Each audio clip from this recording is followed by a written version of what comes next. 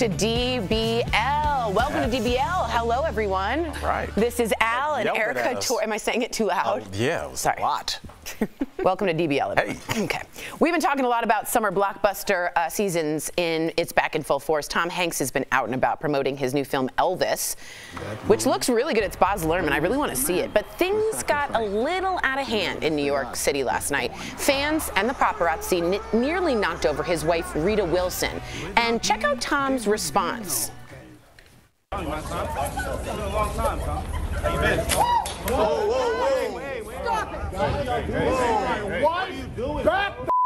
What are y'all doing? What do you want? People are crazy, bro. Knock it over my wife. Yeah, they're bugging. Sorry, talk about that. Okay, Tom is also making headlines with people speculating about his health after they saw his hand shaking at one appearance. He's also been looking, people say, pretty thin, like at this Australian premiere for his film. Um, okay, uh, let's talk about the first thing first, uh, the cursing. I've never seen Tom Hanks curse, but I had this many problems with him doing it. Mm. Zero. Whoa. This is what a zero is. Yes. Yeah. Yeah. Like a zero. Uh, zero. Tom Hanks defended his wife. Thank you who was shoved by fans, physically, people who are supposed to be supporting them. Yes. And he turned around and did exactly what any man would do. He said, "Back up off my wife." That's B-A-C-K-U-P off my wife. I like okay? that you spelled it. Now we're talking about the idea that he might be having health issues, as opposed to speculating about his health. What we really should be doing is taking notes because you defend your partner. Mm-hmm. I mean yes, you defend your partner, Erica, but also I was shocked at just the level of security. When I think Tom, when I make an argument for if somebody's an A-list celebrity or not, I compare them to Tom Hanks, just in my mind. If I go, oh, they're pretty famous, are they like Tom Hanks famous? He's real famous, and there that the, the black gentleman there was at one point in between him and his wife. There was another random, like kind of squirrely looking guy behind them. Yeah. I was surprised that, and then it looked like there was a big older. See the uh, paparazzi hits her. But then this guy steps in and it but almost looks like he did security? it. Like where there's no security. You're there absolutely are right. YouTubers You're right. that have at least is that two security, security guards there, with them. Or is that just Who's that dude? I don't know. Where, who is that guy? Why are these people so close? There isn't like, would J Lo have let this happen? Yeah. Would you even be able to see somebody like J Lo? There'd be four guys around four bigger guys before you even saw her. I was surprised at the lack of security. I thought he handled it well, but I don't think it, sh- it should have even gotten to that point. Yeah. Somebody, whether it's his agency, maybe Tom Hanks has forgotten how famous he is. He's in movies. Everybody's in QAnon and weird controversial stuff. Somebody might think he's trying to eat babies. Eat the you babies. need to be really protective of being out in public right now because there is a severe mental health crisis mm. going on. That's so true. And so I think all of us had this many cares about him doing that. Zero. Yeah, it looks like you're making the heart sign. Though. Oh. But in 2014, okay. people used to do that. Okay. Okay, love you guys. I love. Um, also, I also want to say about that his health issue. Uh, he goes up and down with roles.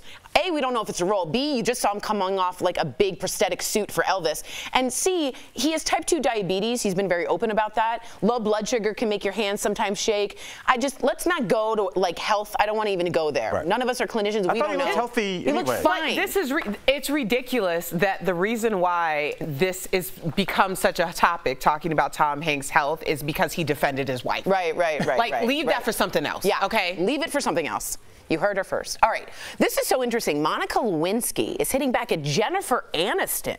So Jen, we're close, was doing an interview for Variety with Sebastian Stan when she made some controversial comments about how fame changed in the 90s. Let's take a look at this. It was right at the time when the internet was just, yeah. just becoming. It really sort of shaped so much of a new culture, kind of, about this thing of people becoming famous for basically doing not, nothing, but yet having a, a, these incredible careers. And then women's sort of reputation. I mean, Pam, uh, uh, Paris Hilton. We've been in that invasive kind of yeah. of privacy I know. since. So I think she also mentioned Lewinsky in that clip, or no? Oh, we have another one. Now, what's interesting is that video clearly left out Monica's name, but check out, I see, that's right, the print version of the interview on Variety's website. I thought it was flipped. You can see the full quote that clearly includes Monica Lewinsky's name in black and white. So Monica hit back by liking this tweet that reads, For women who preach empowerment to demean another woman's past and to drag her out for the sake of it looks really hypocritical. Mm. A lot to unpack here. A lot to unpack. Erica, what are you thinking? I got thoughts. I, because she, she said Pam. So right. Because he's Pam, in Tommy and Pam. He plays Tommy Lee, if you guys didn't know. Right. Sebastian no, no, no. Stan, yeah. I've watched. I've watched. Yeah. Um, Me too. Yeah. So I don't see the, the, I, that whole group of names is a little hodgepodgey to me. Totally Yes. Because I can understand her point, but I don't know if those names really prove or support her point. Exactly. Because, first of all, Pamela Anderson was not a willing participant of starting the internet. We call this so many people's internet. We call it Al Gore's internet, Beyonce's internet. Pam Anderson should have a Pam Anderson internet. I hear you. Pam Anderson mm-hmm. was a big part. of- Catalyst. right. So we should be referring to the internet too. She gets a, a slice of that credit. All right. so I don't know if she really supported it with the right examples. I think examples can be made. Sure. Right. But these don't seem like the ones. I agree. Well, there's a lot. I feel like this is one of the issues that, I- that I have because if we've been talking about a super right wing person that had given an interview where they said a name that was then taken out for the audio version, but accidentally or maybe on purpose left in for the print version, we would all be going crazy. That's like clearly biased in terms of whoever printed that source to protect her, uh, much like with R- RBG when she uh, said those things about the kneeling players and that was taken out to keep her legacy, her legacy, which thanks thanks. Uh, you know, to keep that alive, that's a whole nother s- subject. But when we look at this, first of all, I didn't like the fact that that, uh, that that that name was taken out, and the fact that she used Monica's name. It just shows you that for as much. And Erica, we talked about this a couple days ago. Remember when we were talking about the uh, the the baseball team not wearing the pro Yeah. uh, gay uniforms? And I said it's not about the uniforms. It's not how you present. I don't care what you wear. I don't care what's on your T-shirt. It's what's in your heart. And Anna, Je- Jennifer Aniston has been pro women, and let's do this, ladies. And as soon as she had a microphone in front of her face, she threw a, a shot at a woman who has been put upon for three decades. Two women, Pam and Monica. yes. Neither of them asked For for, what? it. Neither- For, yes. tho- those were both. Not, neither of them had any So an why did agency in that. pass? Right. Why did she and get may a I pass? add, Al? Because if Sarah Palin said this, please go ahead. Very, very good point. May I add that Jennifer Aniston's parents were both famous. Her father was famous in soap operas, very much so. M- many could say she got a leg up in many, many ways. So I think it was poorly said and incongruent names. I no, I don't think it was poorly said. It's what she felt. Stop making excuses Okay. for her because we like her. That's, That's fair. how she felt. That's fair. That's fair. This is how I feel. I feel And I we're go- love you. I I'm- love you I so much. you? I'm yelling at you because I love you. And I I love was you like, too. dang, I, I don't know. You're, I feel like you're really right. Yeah. We all have biases. She's in a It's show called Friends. She's your friend, but she's not your friend. Wow. Coming up on DBL, our interview with legendary rapper Ice Cube. Yay, yay! That was what was it like, thank you, making a music again with Snoop Dogg and Too Short I Practiced? And a school's skirt only rule for girls, yeah, it gets struck down in court. Are all dress codes outdated? Closed captioning provided by This June, DBL isn't holding back. I've already spent my time and all of my sanity on trying to make you happy. I like a little cheese on my potatoes. That was what's going on in my head. That's what we need more of conversations in this country like this show. Thank you. DBL is all new every day.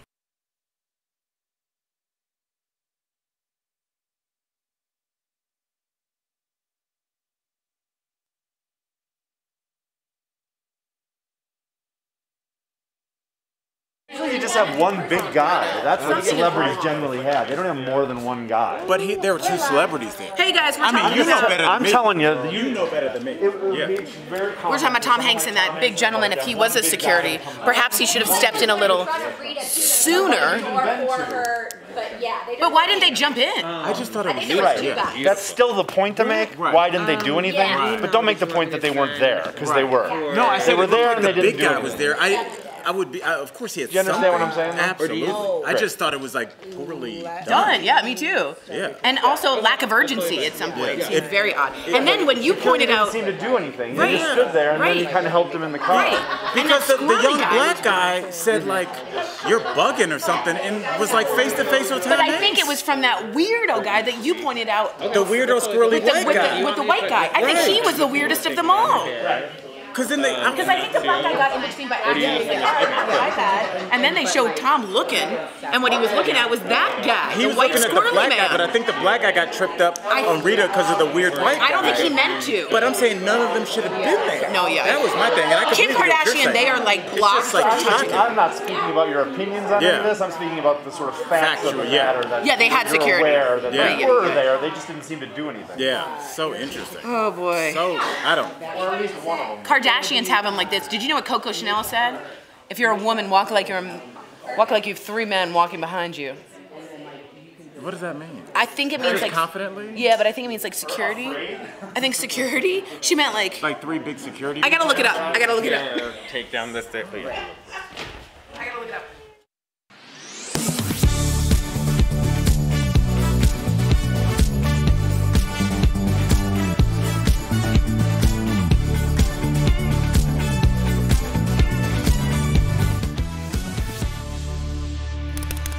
Welcome back. Are dress codes out of date, or even worse, are they a way of policing girls or black and brown people? The reason we're asking is because a school in North Carolina recently lost a lawsuit about its dress code. A federal appeals court ruled the school violated female students' rights by requiring them all to wear skirts, which you see here. The court said it was a violation of Title IX, which protects students from gender-based discrimination. So, DBL Nation, we want to know what you think. Are dress codes like this that require young girls to wear skirts outdated? Yes or no? Go to dblvote.com to weigh in. Al, your thoughts? You have a daughter. How old is your daughter? 15. Oh boy. Right. Al. Yeah, I know. She's It's- becoming a woman. I, I, I can't even. Oh my God, I can't even process. I'm sorry. Tell I me what you even. think about this. If she was made to wear a skirt, how would you feel? Is she made to wear a skirt? No, but uh, I would have an issue with it. And the only way I would not have an issue with it is if everybody, everybody on that campus had an option to either wear a skirt or shorts, and Mm-hmm. it did not matter how you identified. If for some reason this is a school in the Bahamas and they were like, it's hot, but we want everybody to have some kind of uniformity, I'm fine with that. But when we start going, just one one group of people can do this or cannot do this, that's when I That's start what the problems. alarm bells go off Right. for you. Right. I have no issues with dress codes. I think that We dress, dress codes, code. Yeah. right? Yeah. I think that dress codes really serve a purpose, especially in schools, because you know there are issues of the disparity of income. Like people, some parents aren't able to give their children the latest designer Sure. stuff, and that results in bullying, and people feel really bad for them uh, about themselves, and that lowers their self-esteem a- a lot most schools i believe or some schools i'll say who had dress codes have evolved with the dress codes hmm. meaning there are different options for the shirts that they can wear. Sure. it's different it could be shorts it could be a skirt it could be pants. Hmm. Um, but i'm with al on that idea of these are all the options. You can be as creative as you want pairing these options hmm. together but this is going to be the dress code and anyone can wear whatever they want. I think this particular thing is absolutely outdated to require young girls to wear skirts Yeah, they said one of the girls' mother, who was a plaintiff in this case, said, I'm glad the girls at Charter Day School will now be able to learn, move, and play on equal terms as the boys. Because I don't know if y'all know, but being in a skirt Right. is d- very different than being in shorts. It is an uncomfortable position in any way you move. You don't feel free. You're constantly thinking. Now, my take is I don't believe in any dress codes. I went to a school in which they encouraged creativity. It was not a public school, and we had people in cool, weird bubble wrap black skirts and weird things. I know it's not for everybody, but fashion for me was a part of style and a way of expressing myself, and I really enjoyed that freedom. Well, I no, I could. I love that. Yeah. Right. But also, you went to a school of tremendous resource. Exactly, So a private do school, like right? that, exactly. you So know? there was all one level. Absolutely, absolutely. All right, let's take a look at the poll. 80% of you say yes. Girls to wear skirts are outdated. No, 20% of you. The 20% of you, start wearing your skirt on a hot day and tell me if you think otherwise. Coming up on DBL, we talk with it's the chafing. We uh, talk about Ice Cube with the return of the Pro Basketball League, plus making some new music with other legendary rappers.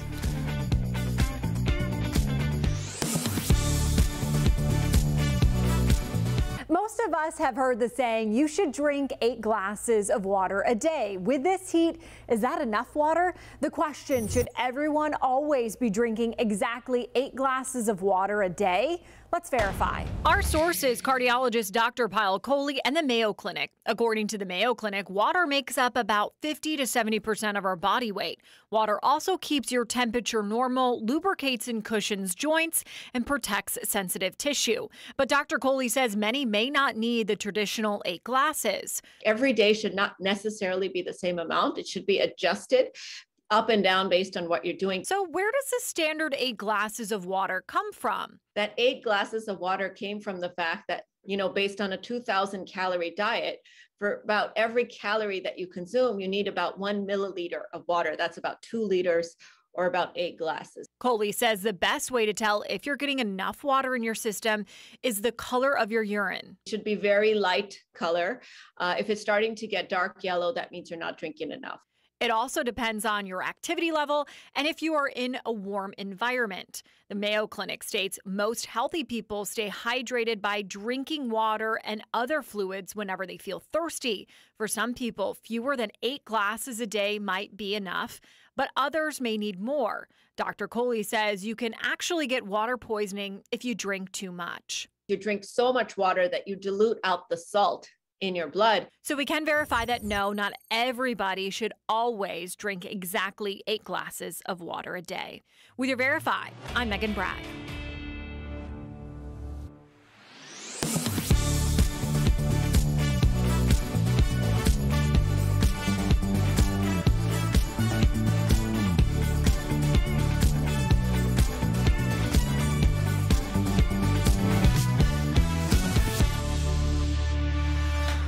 Basketball fans can look forward to All Stars, Hall of Famers, and world, champion, world champions battling it out on the court. Five years ago, Ice Cube launched the Big Three League, and we spoke with the hip hop icon about what else fans can expect from this season.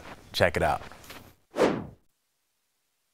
BL, again, it's good to see you. Yes, and I, Tori, I got to jump right in because Cube, I need you to talk to myself and anybody that's over the age of 30 that still likes to play pickup basketball. you need to tell us how your game has changed since you've gotten older and how our game should adjust because I just grab jerseys and kind of foul more now. uh, yeah, you know, it's probably time to retire, hang it up. you know, um, I uh, I used to play a lot till I saw my my friends tearing their Achilles, popping uh, you know, hamstrings yeah. and doing stuff like that. So I was like, let me retire because I don't want to be an amateur with a pro injury. and so I decided to, to just watch now. Yeah, well, I feel it. You're talking to one of those amateurs with a pro. I ruptured my Achilles tendon. So, I was like, yeah, didn't you so hurt I, I your Achilles? Well, yeah. So that's yeah. what's up. He's right there for sure. Uh, all right. Unlike the NBA, players and coaches can talk smack, and I like saying Don't it like, say it like that. that. No, okay. No one likes Very that. bad. Mm-mm. During Big Three games, who do you think will talk the most trash this season? Is there someone that sticks out to you? I mean, Gary Payton. you know, he, he's not a player, he's a coach, but he talks the most smack anybody I know, you know, so, you know, he's going to be doing it. You know, I think what's great about allowing guys to be themselves is it ramps up the competition. Mm. Um, I think talking, trash talking is the American way, mm-hmm. and um, we should not eliminate it from our sports. Mm-hmm. Hey, I love that. You should run uh, Cube 2024 for president with that. That should be your banner. trash talk. Now, speaking of trash talk, and I was shocked to hear this, it seems like the NBA has a problem with your league, the Big Three. So, can you talk to us about that beef? Well, I don't, I don't, I wouldn't consider it beef. We want to work in relationship. Mm-hmm. We think we have a complementary league. You know, we have a, a, a lot of former NBA greats as part of this league, and you know they want to continue to play when there's no room for them in the NBA. So, uh, like I said, we're three on three. They're five on five. They've been around 75 years. We've been around five years. so there's no competition. It's just uh, complimenting each other. Mm. That- that's Symbiotic. Exactly. And speaking about complimenting each each other, let's get to your new supergroup album. Like I'm a huge hip hop fan, so it's a big deal to me. Mount Westmore got the man Too Short from the Bay Area, E40 also Bay Area, and Snoop will be available, and it'll be available as an NFT. So I know a lot of fans are wondering, hey, I don't know anything about NFTs. Can I still listen to this? Talk to them. Yeah, I mean, you know, it's like doing a it's like doing a record with my crazy cousins. You know, I've been knowing Snoop, 40, Short, been knowing them my whole career. We've been friends for the longest. Now doing this project together it's been it's just been fun, like too much fun. I can't. I must have been hypnotized by a hypnotist. Cause every shot I take is every shot I hit. Rim bigger than the ocean. It's nothing but net. Right now, it is released as an NFT, but uh, you know it, it'll be released to the general public a couple of weeks. Uh, so don't worry about it. Uh, we wanted to give people who wanted to to you know buy the record at a premium and also get extra perks. We wanted to give them the shot at it first, but the general public uh, get their shot at it very soon. Speaking for the general public, we can't wait. So I'm That's going to get on that now. My mom called it a NIFT. Yeah, yeah. Instead of an NFT, she's like, "Can I get it as Yeah, a NIFT?" NIFT. Yeah, that's right. It's I like nifty. that. Judy, the old Jew, I love it. Yeah, it is better than NFT. Yeah. It is nifty. Thank you so much for joining us, Ice Cube. It's lovely to have you on again. DBL Nation. Catch the Big Three on CBS and Paramount Plus this summer and visit big3.com for the official game schedule. Always a pleasure. Congrats on five years, my man. Mazel tov. We'll be right back. Thank you. I appreciate it. Appreciate Absolutely. you. Thanks, man. Promotional consideration is brought to you by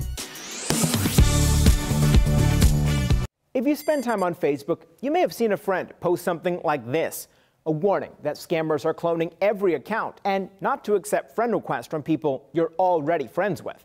Verify viewer Michael reached out to us on verifythis.com to ask Are scammers cloning Facebook accounts? So, Michael, let's verify.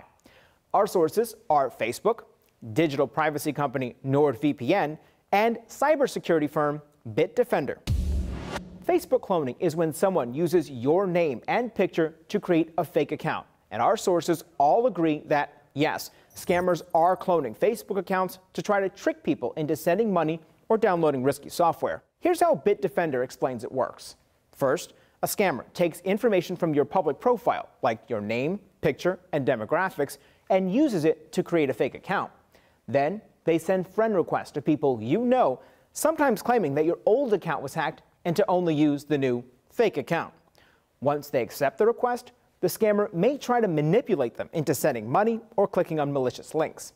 NordVPN says you can protect yourself by limiting what information is visible in your public profile. Also, be on the lookout if you get a friend request from someone you're already friends with. If you suspect an account was cloned, you can report it to Facebook. With your Verify, I'm Brandon Lewis. Home prices and rents continue to rise, but the federal minimum wage hasn't changed since 2009. One viral tweet claimed, quote, the average rent in the US hit a new record high of $1,827 last month. On the federal minimum wage of $7.25, people take home $1,256 a month. Let's verify. Has typical rent in America exceeded the income earned on federal minimum wage?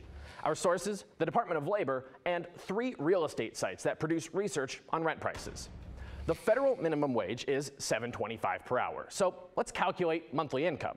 On a 40-hour work week, if you worked 52 weeks a year, that comes out to $1,256 per month, just like the tweet claimed.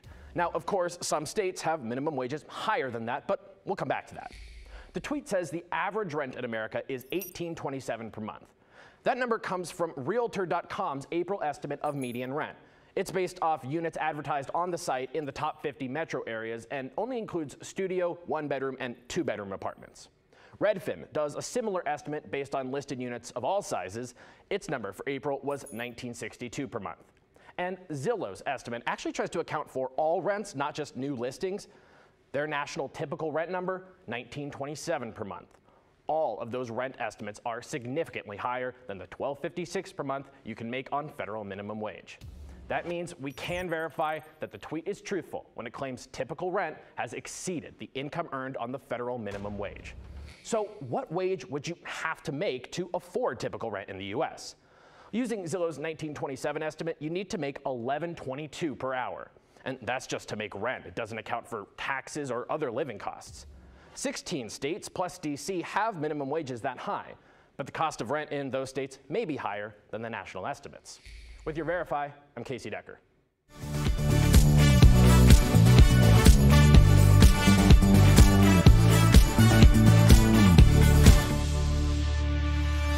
It is a great week to shop. So get those phones out to scan our QR code because you're not going to want to miss these deals. Take a look.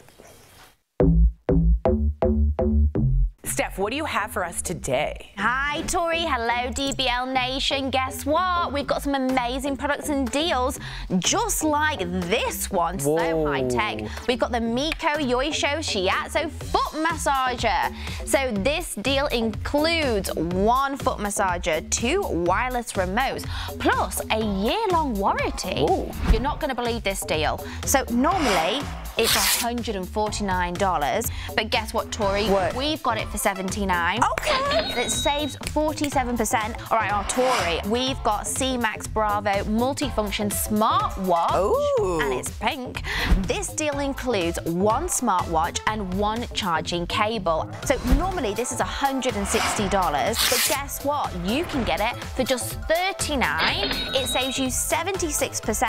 All right, now this one, we've got the three-pack of Sterno Home Flameless LED candle lamp. I'm obsessed with that. So, so pretty. So with this deal, you get three lanterns that you can illuminate your entertaining space with. They're normally $49, eh. but guess what? Please we say have good. them for 19 saves everyone 61%. This is probably one of my favourite things we've got Ooh. this week. It's the Home Basics cushioned lap desk. Okay. So this includes one of these lap desks in cherry or a natural finish. So normally this is $35. That's not even bad for that. No, but guess what, Tori? We've got it for 15 Oh my gosh. So it saves everyone 57%. Guys, head on over to morningsave.com. You can snag all these amazing deals at the lowest prices, or you can even scan the QR code right on screen to take you directly to these products on Morning Save's website with your cell phone. Thank you so much, Steph. I like that little lap uh, desk because I bought a day bed. But I do want to say I got recognized, and you guys know that's really rare. Yes. And when it happens, like it's a big deal. So to Felita from Park Burger, which means happiness, felicitous, felicity. I just want to say thank you. It was lovely meeting you. Oh. okay. DBL's new every day, but same time, same place tomorrow. Okay. Bye, everyone.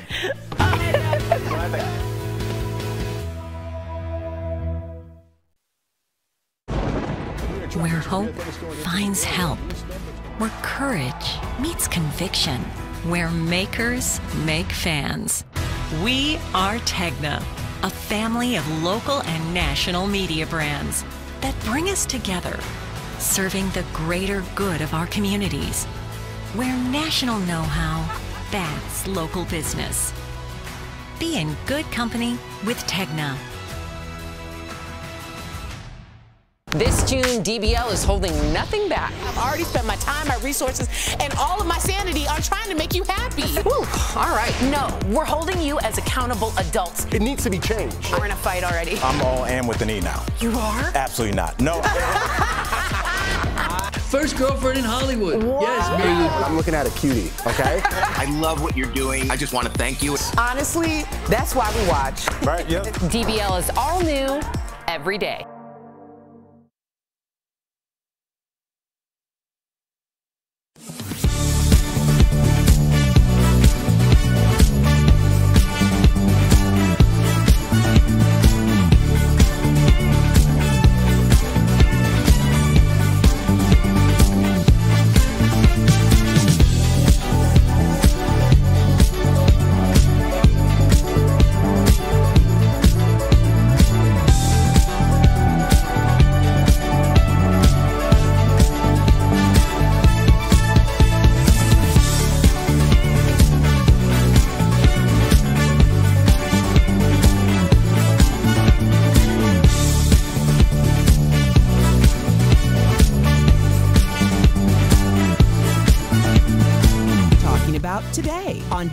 Blast Live.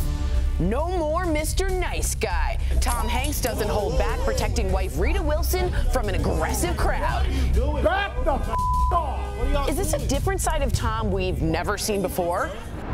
Monica Lewinsky reacts to Jennifer Aniston's famous for nothing diss. But did Jen have a point? A school skirts only rule for girls gets struck down in court. Are all dress codes outdated? And our interview with legendary rapper Ice Cube. Hey, hey! It's like doing a record with my crazy cousins. You know, I've been Oh my gosh. Are you insane? This is a sham. No. No. Y'all, y'all, just It's stop. finally here. Drum roll. Welcome to DBO, Three Girls and Al. You like it? My spinoff show. Yeah. You feel pretty like. I do. Yeah, I can Yes. tell. Okay, he's glowing. All right, so we've been talking a lot about how summer blockbuster season is back in full force. Well, Tom Hanks has been out and about promoting his new film, Elvis. But things got a little out of hand in New York City last night. Fans and the paparazzi nearly knocked over his wife, Rita Wilson. Check out Tom's response.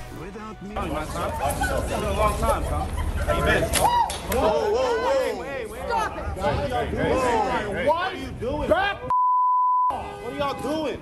What are you doing? People are crazy, bro. Knock it over my wife. Yeah, they're bugging. Sorry to talk about that. Whew, Tom is also making headlines with people speculating about his health after they saw his hand shaking at one appearance. He's also been looking pretty thin, according to many of his fans, like at this Australian premiere for his film. Let's get to the health part afterwards, which I even hate speculating about other people's health, but we'll get to that because we have to address it since people are writing in about it. What did you think about his reaction to the paparazzi? So what? The beginning of Rudy? Rudy, Rudy. I, what else you want? That is exactly how I would want my partner to behave. And maybe we have not seen Tom Hanks curse, but in that moment, Tom Hanks is allowed a curse word. The security, where were you? I know you were there, but where were you? Uh, at this point, Tom Hanks is too famous to have that happen. I think there was actually just a trip, and it turned out that no one was intentionally pushing her, but I I have zero problems with it. Right. But- it shouldn't even get to that. Now, Sam, when I looked at that footage, I thought everybody on this panel, we all have agents. And we have agents because Sam wants to be cool Sam, nice Erica, chill Tori. But your agent goes in there and pounds the table and says, Sam deserves this. We, don't, we should never hear t- uh, Tom Hanks react because his uh, security should have been his agents that do all this so we don't ever bad guys. see this side Yeah. of Tom Hanks. So this is a lack, this is a poor effort on his security's part, and it's it's cost Tom his his look. Let's not forget that we are, and I know COVID is not what it used to be. We have tools in our toolbox now, thank God. But back up, give me some personal space. Y'all aren't in a mass. There's like 10 of you there. Statistically, one or two of you might have COVID. And again, even if it's just going to be mild or you're already vaccinated, it doesn't matter. Back up. Totally. So I'm not even going to put it on and he security. was patient I'm- zero really for COVID. of Celebrities, remember? Yeah. Oh, oh, that's He was right. in He, Australia he and with his Rita. wife. He both. He and Rita. What do you think about people speculating about his health, his hand shaking, Give me a break. him being thinner? What do you think, Erica? Well, why is it that this is a very real and honest moment? He was doing exactly what he should have done. He protected his wife. He reprimanded people for being in the way and causing her to almost fall over. He did so with an excited utterance. We should be taking notes of how to appropriately make sure that you're taking care of your partner. That seemed very appropriate to me. But instead, we're speculating about his possible health issues. Have we learned nothing from the celebrities who, Chadwick Boseman? Yeah. Everybody speculated and said all of these things about him, and it turned out that he was in severe health decline and subsequently passed away. So, why do we continue to have conversations to speculate? First of all, I think words and energy have power. So, if you're going Right. to say something, then say it in uh, affirmation. Don't say it in speculation and like don't be putting that on people. Well okay? said. Yeah. We we are no. Yeah, don't you dare put that rebuke- on You know what. Jews do? I rebuke that. Yeah, Jews go. No, poo, you're poo. Jewish. I'm Jewish. please so sorry. that. You go poo poo poo, and you're supposed to get the evil spirits away. Like knock on wood. I don't know if all Jewish people do Poo, that. poo, My poo. husband's Jewish. He does not walk around the house going poo poo poo. Oh, I bet he does. Well, I'm I black. bet he does. That's why he's still your husband. Yeah, I I'm, bet he I'm does. black, and I say, not today, Satan. That's That's right. right. or that. Okay, we got to talk about this too, and I know that a lot of our viewers have something to say about it, so we're going to chat. Monica Lewinsky is hitting back at Jennifer Aniston. Jen was doing an interview for Variety with Sebastian Stan when she made some controversial comments about how fame changed in the 90s. Take a look. It was right at the time when the internet was just Yeah. becoming. It really sort of shaped so much of a new culture, kind of about this thing of people becoming famous for basically doing not, nothing, but yet having a, car- these incredible careers, and then women's sort of reputation. I mean, Pam, uh, uh, Paris Hilton. We've been in that invasive kind of Yeah. of privacy I know. since.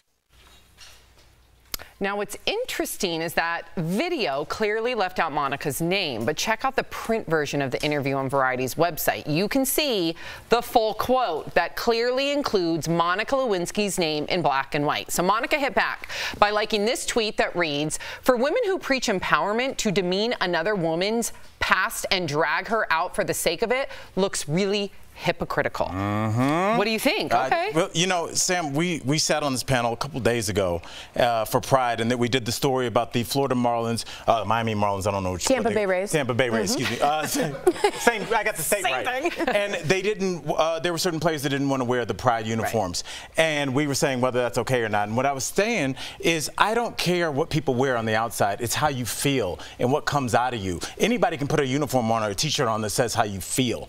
And what we heard come out of her mouth is how she really felt. She, it, she, with that platform, she took a shot at a young woman eh, who's now a mature woman who has been just ostracized by our community, by our world for 30 years. And that's why I say everybody's like pro women and I'm an advocate, but as soon as she got a chance to take some shots, she took it at somebody who had a sex tape, tape leaked without their permission and somebody that was really manipulated by the most powerful person in the world. So that's why I'm like, Pause, watch though. your friends. But- watch who says they're friends and watch who acts like your But pause. Pamela, An- Pamela Anderson, according to her, and we're about to see Pam's story when her own documentary comes out, claims that she was a victim, that she did not. She, Right. that That- was. that's what I was but saying. Paris too. Right. Paris And all three of them she Thank mentioned. you. Yeah. All three. Isn't Pam an actress? Yeah, and, and she worked hard on that Baywatch. I just think I thought I thought she stepped in it on this one because none of them backed what she said. And to be honest, all three were put in positions they weren't meant to be put in. Erica? I think she took the words out of my mouth.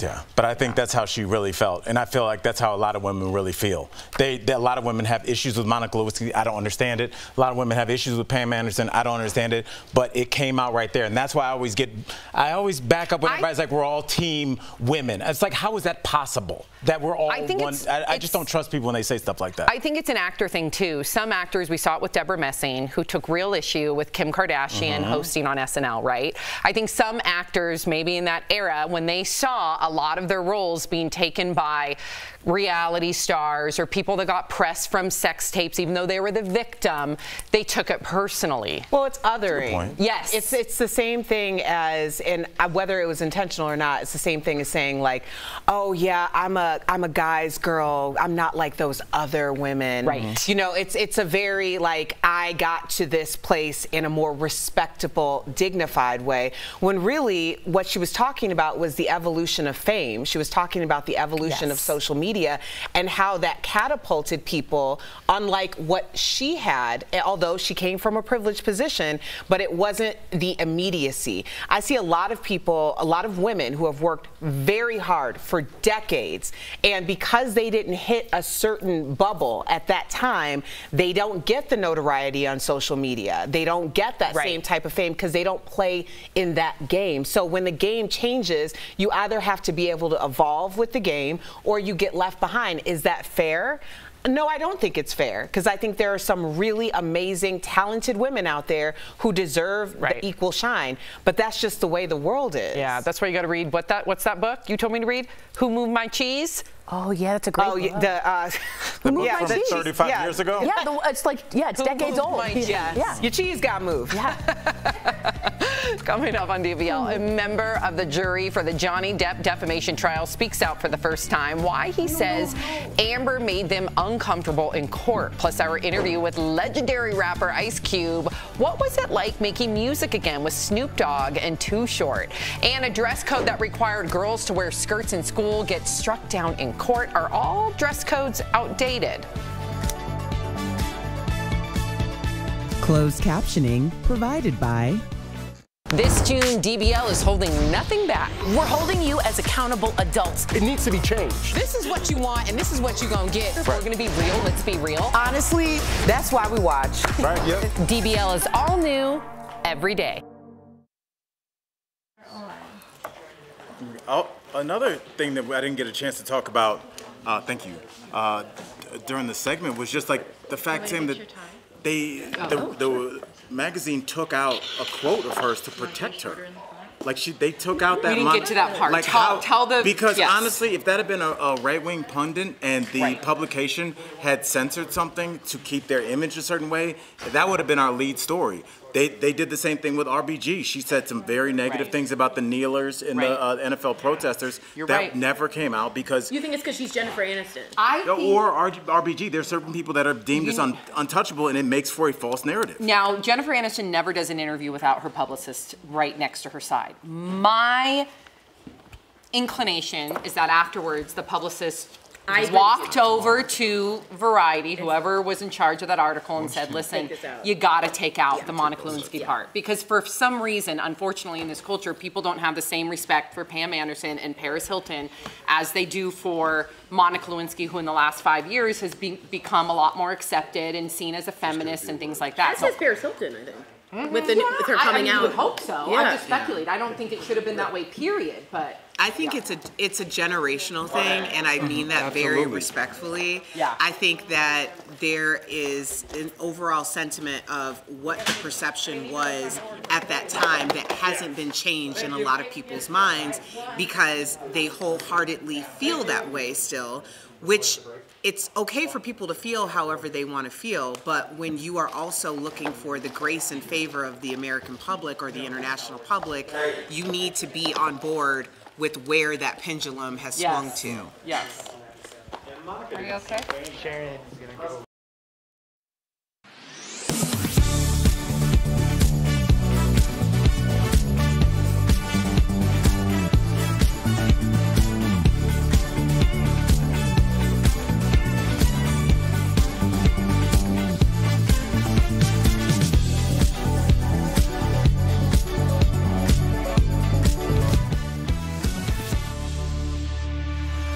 Welcome back. Are dress codes out of date or even worse, are they a way of policing girls or black and brown people? The reason we're asking is because a school in North Carolina recently lost a lawsuit about its dress code. So a federal appeals court ruled the school violated female students' rights by requiring them all to wear skirts, which you see here.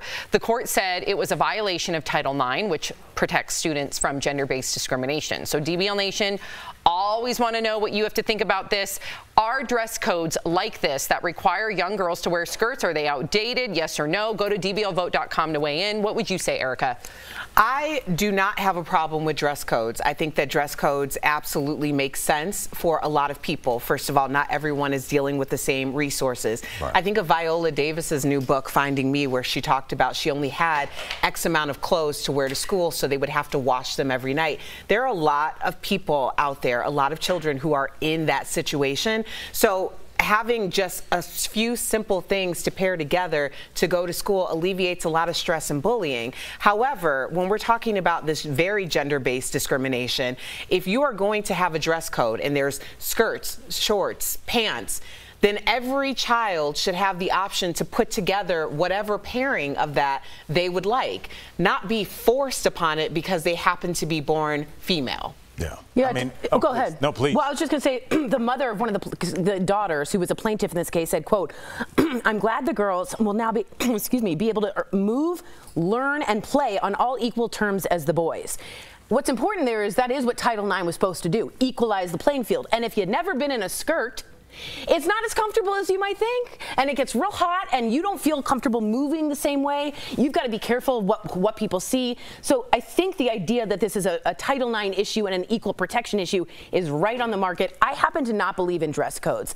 I do. I went to a privileged private school where kids had more clothes, so I do understand those resources. But some kids like to dress, girls dress like to dress like boys, boys like to dress like girls. We had that capability, and that freedom to me represents 2022 more than a uniform in expressing oneself. That might seem a little, maybe that is coming from a privileged point of view, but that's my point of view. Yeah, and that's fine. I never want you to, and just for future reference, I like the fact that you come from a privileged place. That's where we'd all like to be. So, like, the, your parents did good. So but it's good feel, to acknowledge as never well. Never feel shame about that, though. Yeah. That's a, that's a good thing. Uh, you know, very humble and grounded. Uh, you are, and it's like I don't, I don't. Yeah. You're not going to hide that. You have to. Yeah. Absolutely. Yeah, but yeah. what about going on the playground? Like, what about you know? I know the ages range, but Right. you know, if you're playing on the monkey bars, if Right. you're playing They soccer, right? How are you supposed to Like, do anything? When you watch the monkey bars, kids are flipping upside down, Totally. Right. literally flipping. And I mean, honestly, uh, it. Leaving the, the playground out of it, just the day to day indoctrination of Yes. it, the day to day, when you know that every single day there's a skirt laid out that you have to wear or there will be a penalty. And the people that identify as males in your class are not having that. And it seems like a little thing, but over the course of time, you start to understand that you are different. So there are different rules for you. And if some of those rules are unfair to you, that's okay because you've been dealing with this since the first grade. And you, you are, It's a- it's you are sexualized low- in that way. Absolutely. Yes, Well yes, yeah. said. Let's see what our viewers believe. Are dress codes that require girls to wear skirts outdated? 70% of you say yes. There you go. Coming up on DBL, we talk with Ice Cube about the return of his pro basketball league, plus making new music with some other legendary rappers.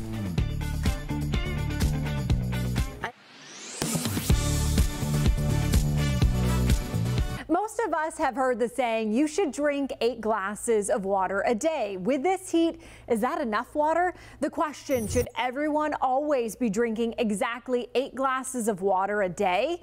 Let's verify. Our source is cardiologist Dr. Pyle Coley and the Mayo Clinic. According to the Mayo Clinic, water makes up about 50 to 70% of our body weight. Water also keeps your temperature normal, lubricates and cushions joints, and protects sensitive tissue. But Dr. Coley says many may not need the traditional eight glasses. every day should not necessarily be the same amount. It should be adjusted up and down based on what you're doing. So, where does the standard eight glasses of water come from? That eight glasses of water came from the fact that, you know, based on a 2000 calorie diet, for about every calorie that you consume, you need about one milliliter of water. That's about two liters or about eight glasses. Coley says the best way to tell if you're getting enough water in your system is the color of your urine. Should be very light color. Uh, if it's starting to get dark yellow, that means you're not drinking enough. It also depends on your activity level and if you are in a warm environment. The Mayo Clinic states most healthy people stay hydrated by drinking water and other fluids whenever they feel thirsty. For some people, fewer than eight glasses a day might be enough, but others may need more. Dr. Coley says you can actually get water poisoning if you drink too much. You drink so much water that you dilute out the salt in your blood. So we can verify that no, not everybody should always drink exactly eight glasses of water a day. With your Verify, I'm Megan Bragg.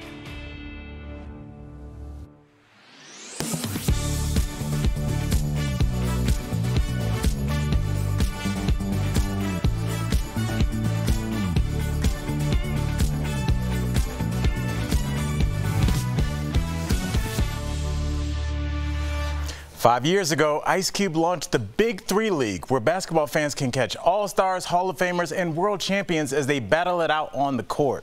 Now, we were lucky enough to catch up with the hip hop icon to talk about that and his new music. Check it out. Ice Cube, welcome to DBL. Again, it's good to see you. Yes, and I, Tori, I got to jump right in because Cube, I need you to talk to myself and anybody that's over the age of 30 that still likes to play pickup basketball. you need to tell us how your game has changed since you've gotten older and how our game should adjust because I just grab jerseys and kind of foul more now. Uh, yeah, you know, I- it- it's probably time to retire, hang it up. you know, um, I uh, I used to play a lot till I saw my my friends tearing their Achilles, popping, uh, you know, hamstrings, Yeah. and doing stuff like that. So I was like, let me retire because I don't want to be an amateur with a pro injury. and so I decided to, to just watch now. Yeah, well, I feel it. You're talking to one of those amateurs with a pro. I ruptured my Achilles tendon. So, I was like, yeah, didn't you so I, I hurt your Achilles? As well, Yeah. so that's Yeah. what's up. He's right there for sure. Uh, all right, unlike the NBA, players and coaches can talk smack, and I like saying Don't it like, say it like that. No, okay. No one likes it. Very that. bad. Mm-mm. During Big Three games, who do you think will talk the most trash this season? Is there someone that sticks out to you? I mean, Gary Payton. you know, he, he's not a player, he's a coach, but he talks the most smack anybody I know, you know, so, you know, he's going to be doing it. You know, I think what's great about allowing guys to be themselves is it ramps up the competition. Um, I think talking, trash talking is the American way, and um, we should not eliminate it from our sports. Hey, I love that. You should run uh, Cube 2024 for president with that. That should be your banner. Trash talk. Now, speaking of trash talk, and I was shocked to hear this, it seems like the NBA has a problem with your league, the Big Three. So, can you talk to us about that beef? Well, I don't, I don't, I wouldn't consider it beef. We want to work in relationship. We think we have a complementary league. You know, we have a, a, a lot of former NBA greats as part of this league, and you know they want to continue to play when there's no room for them in the NBA. So, uh, like I said, we're three on three. They're five on five. They've been around 75 years. We've been around five years. so there's no competition. It's just uh, complimenting each other. That- that's it. Symbiotic. Exactly. And speaking about complimenting each each other, let's get to your new supergroup album. Like I'm a huge hip hop fan, so it's a big deal to me. Mount Westmore got the man Too Short from the Bay Area. E40 also Bay Area, and Snoop will be available, and it'll be available as an NFT. So I know a lot of fans are wondering, hey, I don't know anything about NFTs. Can I still listen to this? Talk to them. Yeah, I mean, you know, it's like doing a it's like doing a record with my crazy cousins. You know, I've been knowing Snoop, 40, Short, been knowing them my whole career. We've been friends for the longest.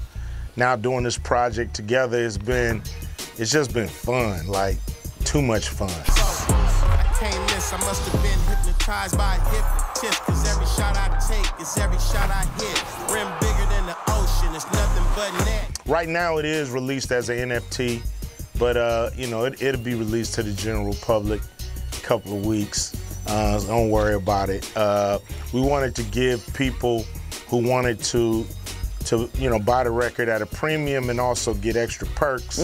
We wanted to give them the shot at it first, but the general public uh, get their shot at it very soon. Speaking for the general public, we can't wait. So I'm That's gonna get on that now. My mom called it a NIFT. Yeah, yeah. Instead of an NFT, she's like, "Can I get it as Yeah, a NIFT?" NIFT. Yeah, that's right. It's I like nifty. that. Judy, the old Jew, I love it. Yeah, it is better than NFT. yeah. It is nifty. Thank you so much for joining us, Ice Cube. It's lovely to have you on again. DBL Nation. Catch the Big Three on CBS and Paramount Plus this summer, and visit big3.com for the official game schedule. Always a pleasure. Congrats on five years, my man. Mazel tov. We'll be right back. Thank you. I appreciate it. Absolutely. Thanks, man. Promotional consideration is brought to you by If you spend time on Facebook, you may have seen a friend post something like this a warning that scammers are cloning every account and not to accept friend requests from people you're already friends with. Verify viewer Michael reached out to us on verifythis.com to ask Are scammers cloning Facebook accounts? So, Michael, let's verify. Our sources are Facebook, digital privacy company NordVPN, and cybersecurity firm Bitdefender.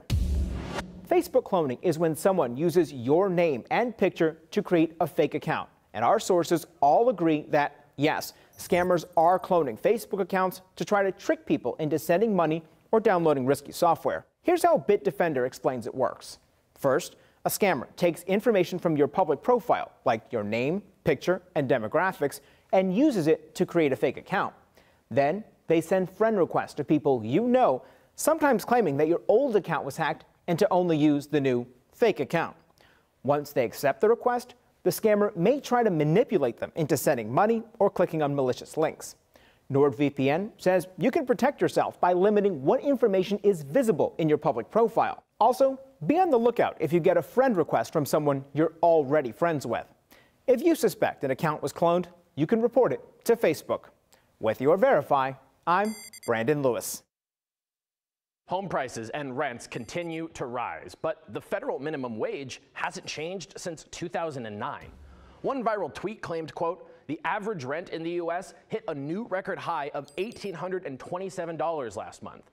On the federal minimum wage of $7.25, people take home $1,256 a month. Let's verify. Has typical rent in America exceeded the income earned on federal minimum wage? Our sources, the Department of Labor, and three real estate sites that produce research on rent prices. The federal minimum wage is $7.25 per hour. So let's calculate monthly income. On a 40-hour work week, if you worked 52 weeks a year, that comes out to $1,256 per month, just like the tweet claimed. Now, of course, some states have minimum wages higher than that, but we'll come back to that. The tweet says the average rent in America is $18.27 per month. That number comes from Realtor.com's April estimate of median rent. It's based off units advertised on the site in the top 50 metro areas and only includes studio, one bedroom, and two bedroom apartments. Redfin does a similar estimate based on listed units of all sizes. Its number for April was 1962 per month. And Zillow's estimate actually tries to account for all rents, not just new listings. Their national typical rent number, 1927 per month. All of those rent estimates are significantly higher than the 1256 per month you can make on federal minimum wage. That means we can verify that the tweet is truthful when it claims typical rent has exceeded the income earned on the federal minimum wage. So what wage would you have to make to afford typical rent in the US? Using Zillow's 1927 estimate, you need to make 1122 per hour. And that's just to make rent. It doesn't account for taxes or other living costs.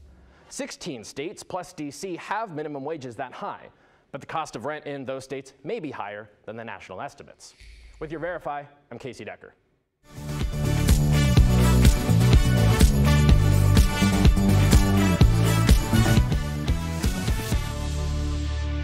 Oh, welcome back. We love sharing your comments. Okay, so this is about the dress code. We got Cheryl. My kids went to Catholic school and had a dress code. It made getting dressed easier, and no one could judge someone else over clothing. These are the positives. Barbara says, I fought for uniforms in my kids' school with a choice of skirts or shorts. That's the difference. It is the greatest neutralizer for those who can't afford nicer clothes. Skirts or shorts, I got no problem. Yeah, me I'm too. with that. What about skirts? Now I have a problem. Yeah, I, I would go with the skort. I, I like I a good like skort. skirts. Lots of flexibility with a skirt. But add it to. And let it be Right. part The of. wardrobe. Make, as make you the kids will. make a decision. Yeah, don't don't don't have half do it. Like make a decision. Okay. If you're leaving us, you can watch the second half of the show online. Watch on YouTube, dailyblastlive.com, or our DBL mobile app. But if you get the second half of the show where you are, here is what's ahead. Our interview with the Blindside actor Quinton Aaron. He, Aaron, he's telling us all about how he lost more than 100 pounds. Plus, we're getting our first look at Ana de Armas as Marilyn Monroe. Will she pull off the part?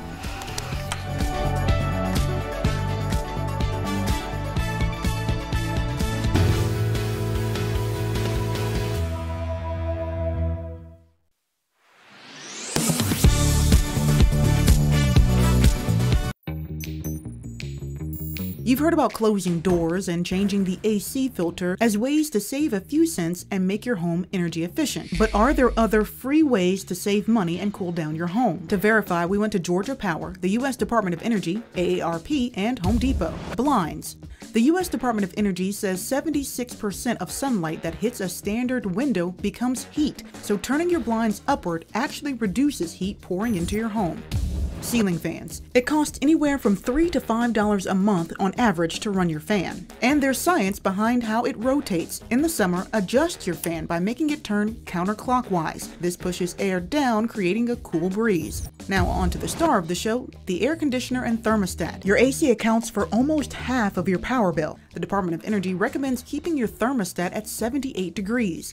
The difference between running your AC at 78 for 8 hours versus running it at 74 is 10% cheaper. Also, there's the 20 degree rule. Setting your AC 20 degrees lower than the outside temperature keeps your AC from unnecessary strain and breaking down. If it's 95 outside, set the AC to 75. If it's 100, set it to 80. So we can verify this one, turning up the AC does save money and energy. And finally, can you get discounts on your bill? Technically, yes. Check with your power company. Many offer budget billing, allowing you to sign up and have your payments set for around the same amount each month. And companies like Georgia Power offer an energy checkup tool, which gives you a customized report of how you use your energy and how to save money.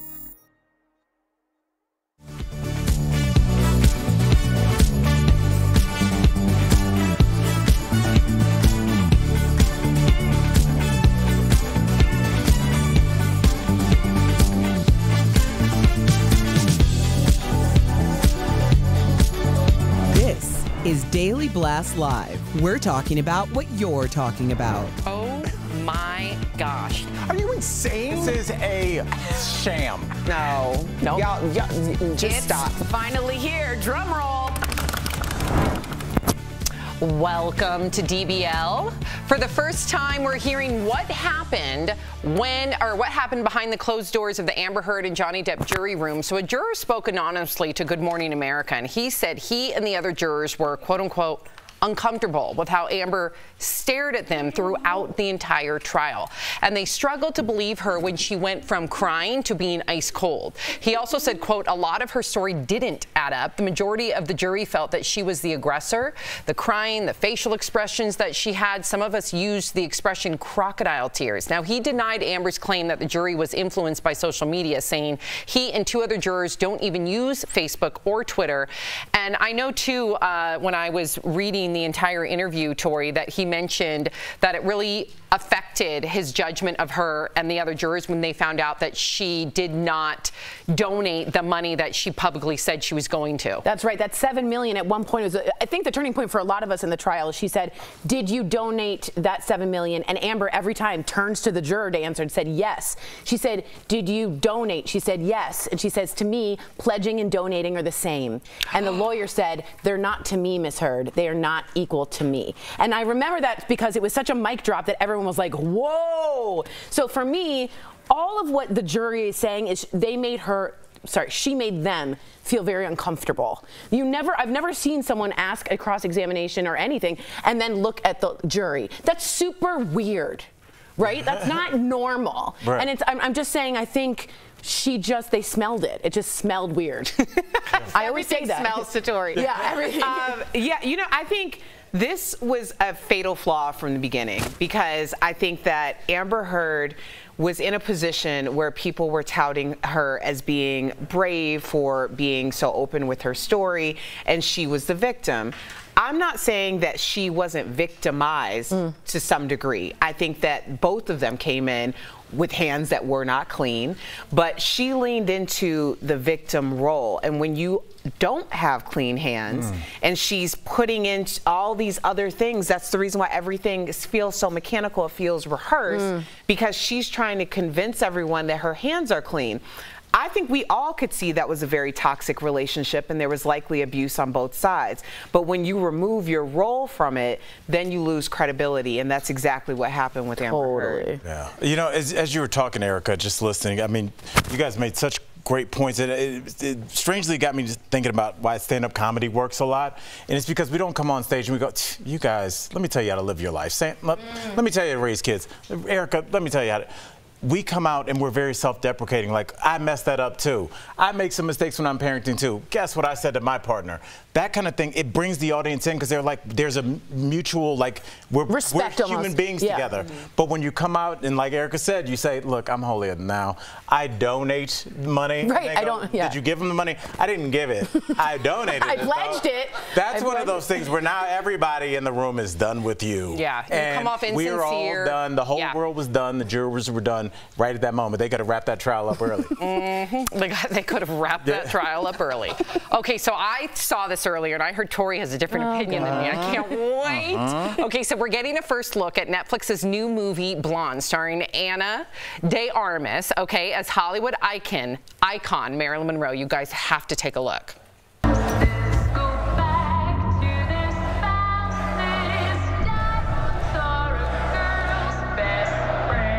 She's coming. She's almost here.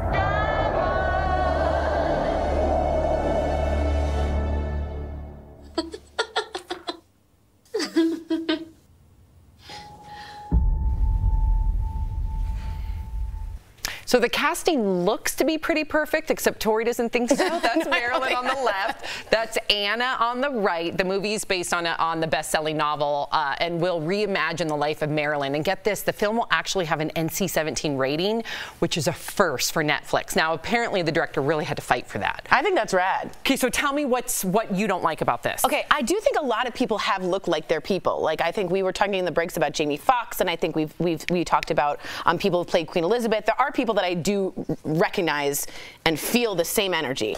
Um, for this one, I found a picture of her in the movie, and it, to me, she's playing a little bit. It looks like more Madonna 1980s, which in the 80s she was playing Marilyn Monroe, Madonna. So here's a picture next to it, and see on the right, that's her in the movie, Ana, and on the left is uh, Marilyn Monroe. And I just happen to see sharper features. I picture more voluptuousness, and I really want. No, honestly, if you're doing Marilyn Monroe, it's all about aesthetics, and if you don't match that, then I'm not I- into the movie. Can I challenge you? Please. Because I went down the rabbit hole. You know, when I get into something, I get real into something. So this director, every single image, every single scene is based off a photograph. So if you would have pulled the photograph that he based that look off of, it would have been uncanny. I don't think it Tori, would have been. it would have been uncanny. Still Number not two. good enough. Number two. For her. No, it's not. Number two, it took her nine months to nail her singing voice, her real voice. Now, she had the best dialect coach, coaches in the world afterwards tell the director she's ready. So not only has this actress put in the work, but again, you're looking at different. It's like if I were to compare a picture of Tori from four years ago and a picture of now, they're not going to look identical. So just know that every single scene you're going to see in that movie is identical from the hair to the makeup to the wardrobe to everything based on the photo. Does that make sense? Yes, but what I'm saying is, it's, Yeah, it's I not mean, gonna- really. I mean, Tori's first never of all, I do, I just of don't get the same energy. Y'all know you all smell it because that's definitely haterade in the It's cup. not. It's not. I like it's Ana. definitely haterade in I the like cup. Ana. I just- Because I that whole thing didn't make of sense. I think it did. no, it didn't because basically you're saying because she didn't get like prosthetics or a nose job or like her face. I'm was- saying Marilyn Monroe is all aesthetic. Her image is what we think of Marilyn Monroe. And but if I'm see, taking, that is probably the reason why this project needs to be done because people, People think feel of that. like I she's agree. all aesthetic. Of course. Marilyn Monroe's story is going to be so much more striking. I agree with that. Every time it's But if- told than her actual aesthetic. I agree with that. But if I immediately see Ana de Armas and not immediately feel an energy, sometimes I'm like, eh, I, I'll have to I wait and see. you're gonna be I, I proven have a wrong. question just really quickly, for Quickly, the 'cause we have one more story. Okay, if it's a, obviously it's going to go into her life, there's going to be a lot of sadness. Is that going to ruin it because she is an icon for her no, beauty? You need to know no, her truth. you're- I'm likening this to the Billie Holiday story, the People versus Billie Holiday. My buddy Tone We- Bell's in That there. took nothing but added all the love and accolades that she deserved while she was here, and I think that this is going to be a very similar Me type too. of I can't wait. I think Ana's going to knock it out of the park. But I, think I could be, I'm sure I could be very wrong. I think you're going to end up. Eating the the humble pie. Yes, I, I do like believe pie. that. I do It took Okay. both of you guys to come up with that. Sam was like, please help me. Yeah, help me. okay, so last summer's breakthrough hit Squid Game is becoming a reality show. The original show followed a group of people as they competed in childhood games with a very dark twist if you've seen it. Anyone who lost those games were killed. Spoiler alert. Netflix says the reality show will be the biggest reality competition ever. Here's a look at the trailer.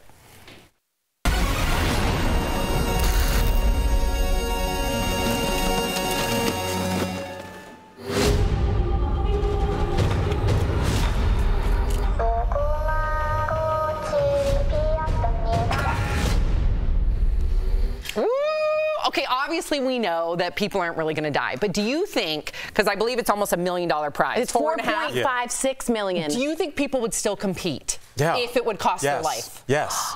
Yes. Ow. I think you're right, Are you- unfortunately. Are uh, you, no, I yeah, agree. Erica, talk to me. Well, people, we have to understand people are in very dire situations, mm-hmm. and it is the prospects are not looking great. You know, so I think that people are very desperate, and so mm-hmm. of course. Chance to change of your life in a couple weeks. Yes. And, Some people are like, well, it's better than what's happening now. At least my life might change. People are dying for something to live for. That's a powerful quote. And I think that encapsulates Squid Game, the series, and also if people were to become a reality contestant, if it was the real deal. That's so incredibly sad.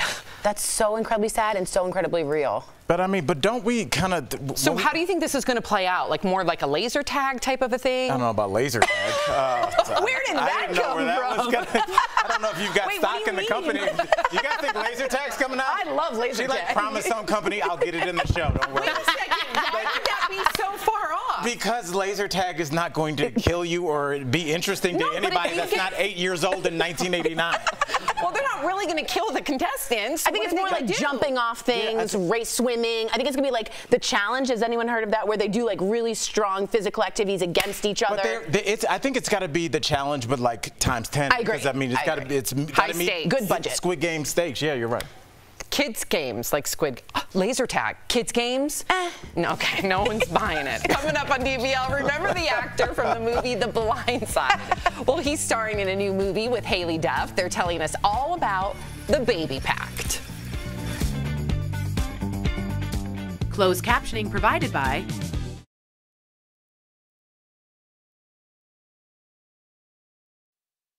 This June, DBL is holding nothing back. We're holding you as accountable adults. It needs to be changed. This is what you want, and this is what you're gonna get. If we're gonna be real, let's be real. Honestly, that's why we watch. Right, yep. DBL is all new every day.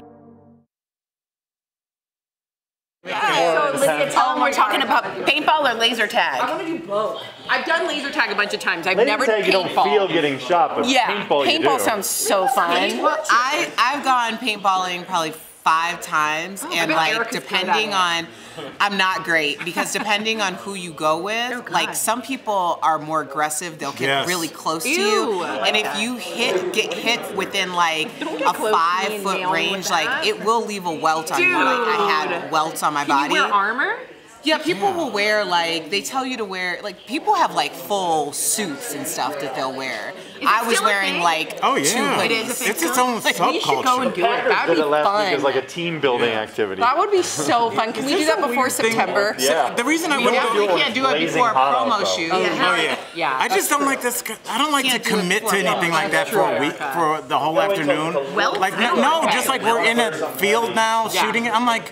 After 20 minutes, I'm ready to go from anything. I don't care what's happening. Boring. Massage. I don't Really? care if I'm in like a boat? Hawaii Yeah, under a, a whirlpool. I don't want to be anywhere for more You than don't 20 wanna- minutes. Your attention, attention span. I You hate- wouldn't. You don't want to lay on a beach for more than 20 minutes. You don't want to go on a jet ski for the more beach than 20 is, minutes. It's beach. Sand is just overachieving dirt to me. it's I don't. It's, tru- it's trust fund dirt.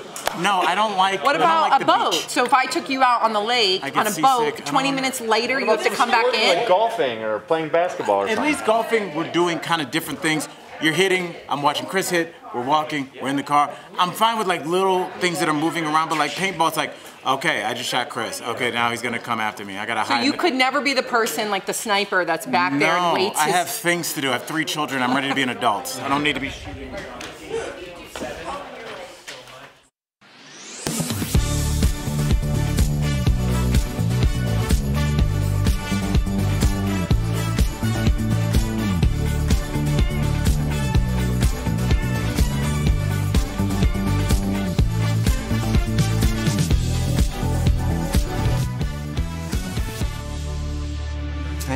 Gorgeous?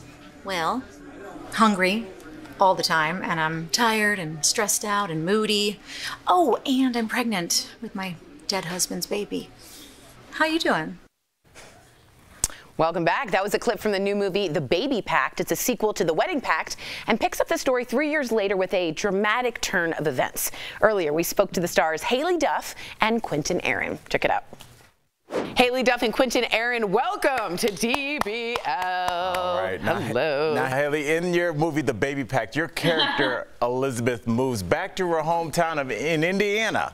Now, you recently moved back to your home state of Texas. A lot of people are doing this. Can you tell everybody like what made you leave LA for the the Lone Star State? Well, you know, Texas is my hometown. It's where, or my home state. It's where I, uh, it's grew up. My half of my family is still here, and our plan was to always come back to Texas. Mhm. Uh, but we thought it would be more like when our girls were going into middle school, and then you know the pandemic happened. We were kind of looking for a little more space, a little more fresh air, and um, so we just kind of jumped into it. We just did it, and I'm so happy we did. It was very scary. I definitely went um, kicking and screaming a little bit. I did. I did love so much about Los Angeles and my friends there, but I have found such amazing uh, people here in Texas, and we're very lucky where we ended up here. We're so happy. Quinton, since November, you've lost 170 pounds. Mazel tov.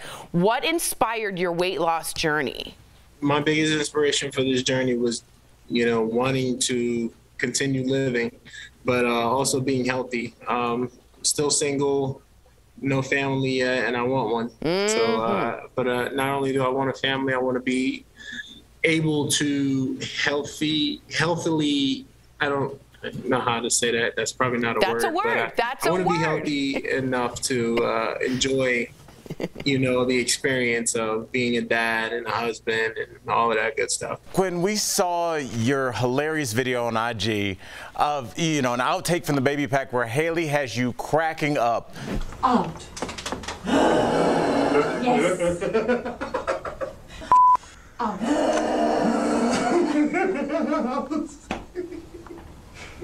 I'm sorry. I was...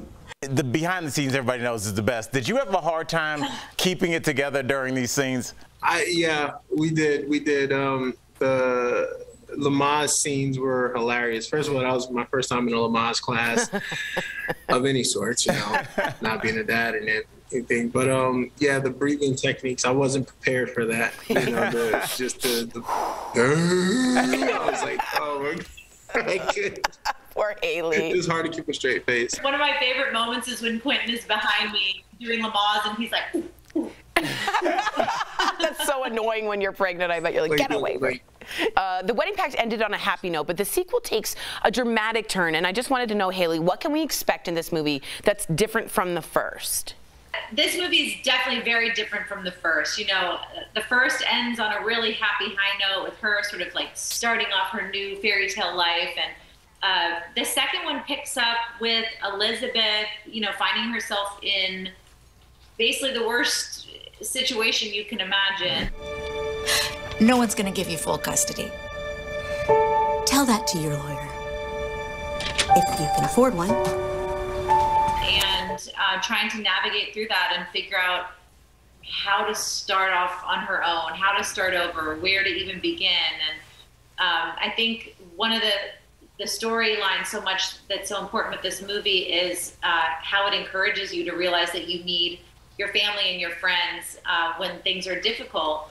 I think there's a lot for us to learn from a story like this, and I love that families can watch it together and kids can watch it, and we're so excited that people get to see it now. That's fantastic. Can't Haylie and wait. Quinton, I cannot wait. Thank you so much for joining us. DBL Nation, be sure to check out the Wedding Pact 2, the Baby Pact. It includes breath dancing. It's available now exclusively on pay-per-view, video on demand, and other major platforms. Thank you so much You for guys are joining us. We are so grateful Appreciate for that. y'all. Thanks. We'll be right back. Thanks, guys. Thank you, guys. See you.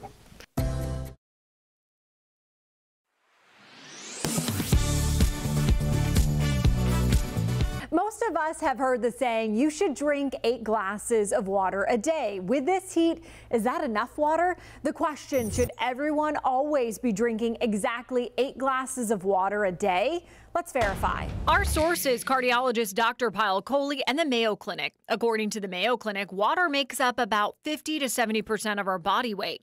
Water also keeps your temperature normal, lubricates and cushions joints, and protects sensitive tissue. But Dr. Coley says many may not need the traditional eight glasses. Every day should not necessarily be the same amount. It should be adjusted up and down based on what you're doing. So, where does the standard eight glasses of water come from? That eight glasses of water came from the fact that, you know, based on a 2000 calorie diet, for about every calorie that you consume, you need about one milliliter of water. That's about two liters or about eight glasses. Coley says the best way to tell if you're getting enough water in your system is the color of your urine. It should be very light color. Uh, if it's starting to get dark yellow, that means you're not drinking enough. It also depends on your activity level and if you are in a warm environment. The Mayo Clinic states most healthy people stay hydrated by drinking water and other fluids whenever they feel thirsty. For some people, fewer than eight glasses a day might be enough, but others may need more. Dr. Coley says you can actually get water poisoning if you drink too much. You drink so much water that you dilute out the salt in your blood. So we can verify that no, not everybody should always drink exactly eight glasses of water a day. With your Verify, I'm Megan Bragg.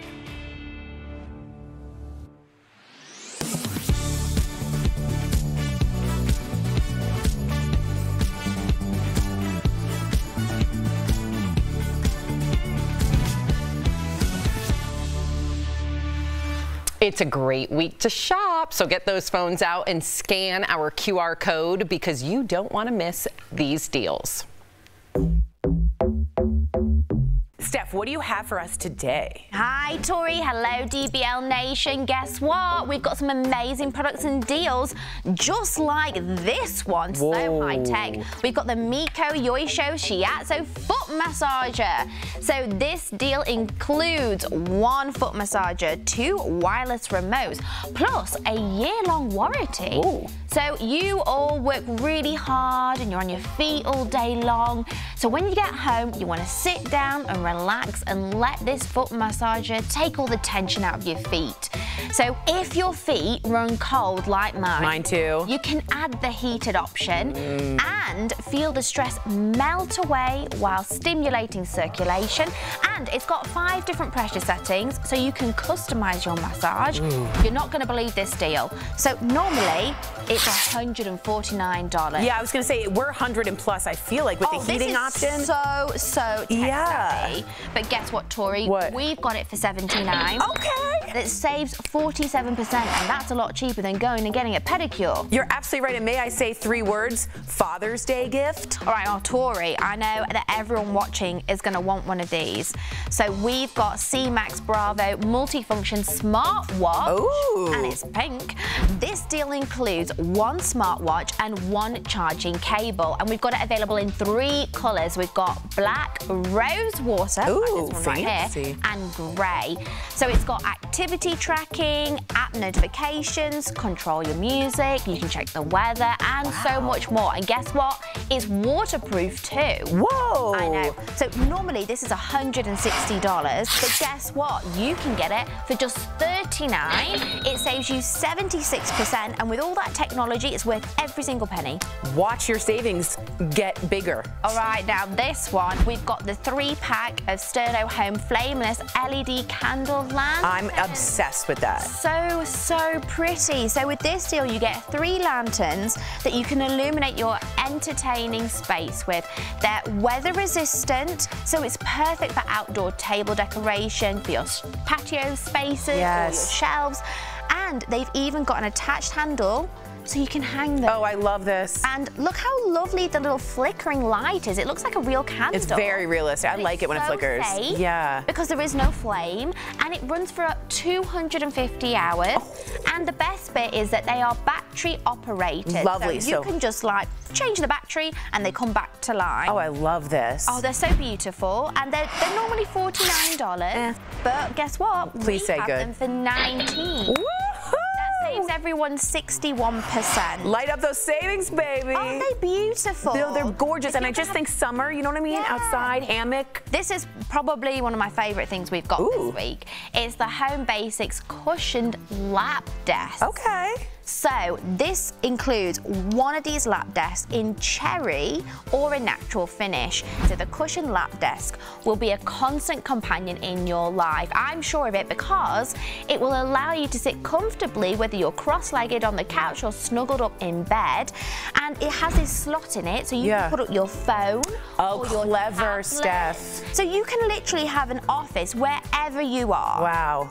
So normally this is $35. That's not even bad for that. No, but guess what, Tori? We've got it for 15 Oh my gosh. So it saves everyone 57%. Guys, work from home, WFH. Head on over to morningsave.com. You can snag all these amazing deals at the lowest prices, or you can even scan the QR code right on screen to take you directly to these products on Morning Save's website with your cell phone. Thank you so much, Steph. We'll be right back. Promotional consideration is brought to you by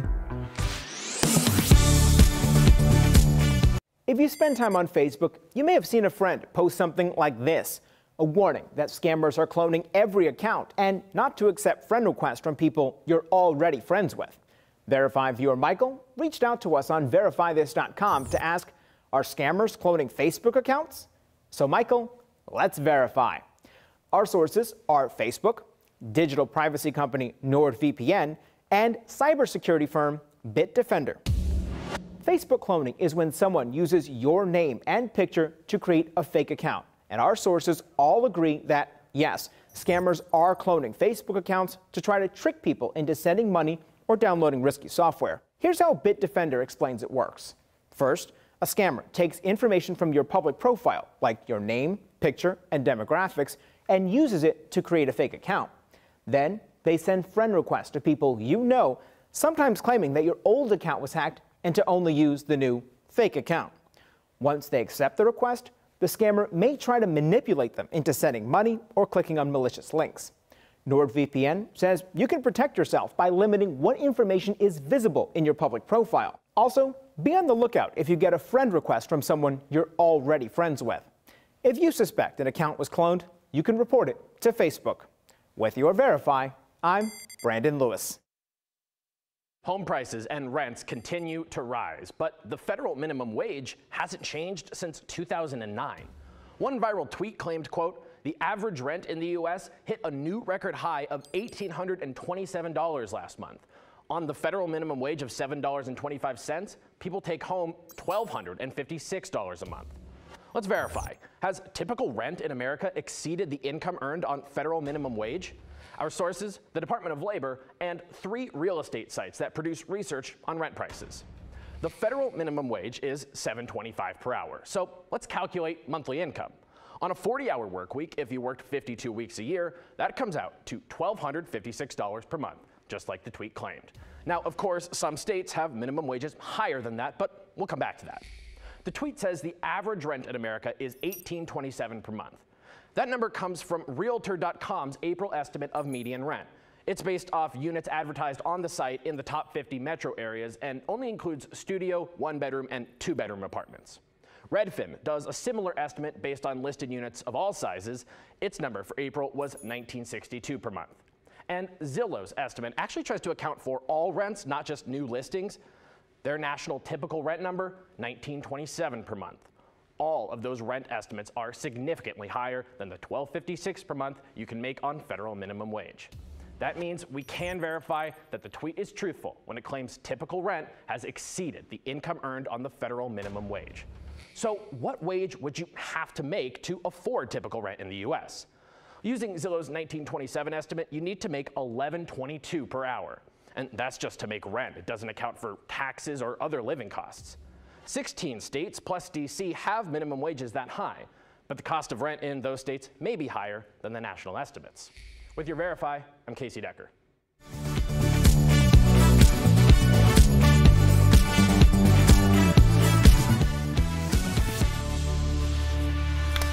Welcome back. Lots of comments. What do we got, Tori? This is about the Squid Game situation. Reality show Jeunesse, which sounds like a shampoo brand. I love it. People already risk their lives on shows like Survivor and Naked and Afraid. They get injured or go starving just for like a cash prize and a little fame. Yeah. But, but if you were like, death is a, I don't know. If you $5 million is dangling in front of your face, oh. stakes are high. Yeah. That's right. got a cute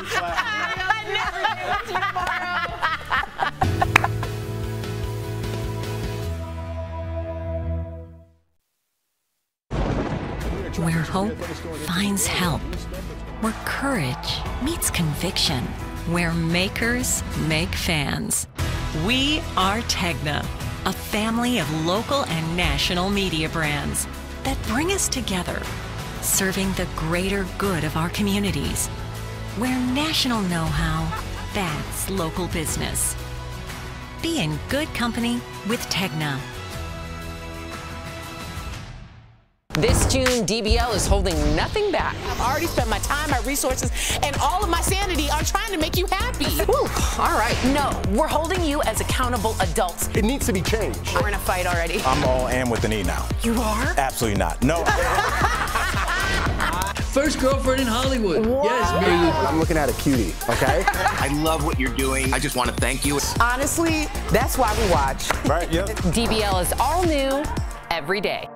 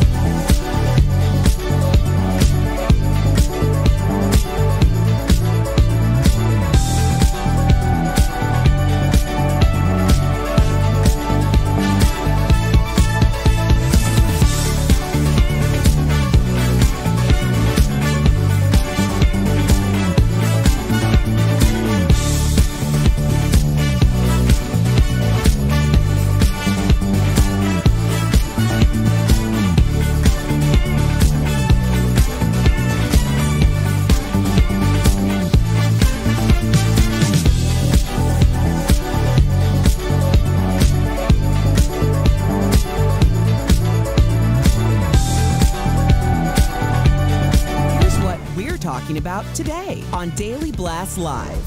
No more Mr. Nice Guy. Tom Hanks doesn't hold back protecting wife Rita Wilson from an aggressive crowd. Back the off. Is this a different side of Tom we've never seen before?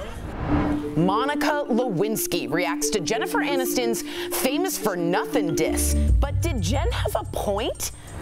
A school skirts only rule for girls gets struck down in court.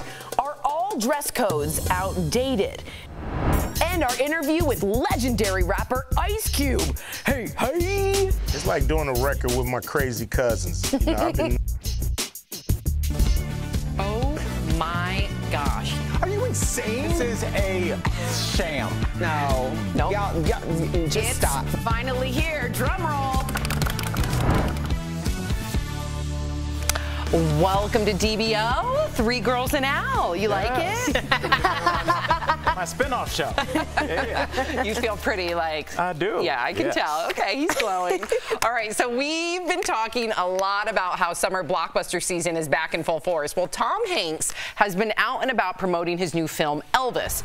But things got a little out of hand in New York City last night. Fans and the paparazzi nearly knocked over his wife, Rita Wilson. Check out Tom's response.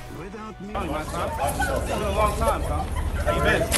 Whoa, whoa, whoa. Stop it. What are you doing? Back What are y'all doing? What do you want? People are crazy, bro. Knocking over my wife. Yeah, they're bugging. Sorry, to talk about that. Whew, Tom is also making headlines with people speculating about his health after they saw his hand shaking at one appearance. He's also been looking pretty thin, according to many of his fans, like at this Australian premiere for his film. Let's get to the health part afterwards, which I even hate speculating about other people's health, but we'll get to that because we have to address it since people are writing in about it. What did you think about his reaction to the paparazzi? So what? The beginning of Rudy?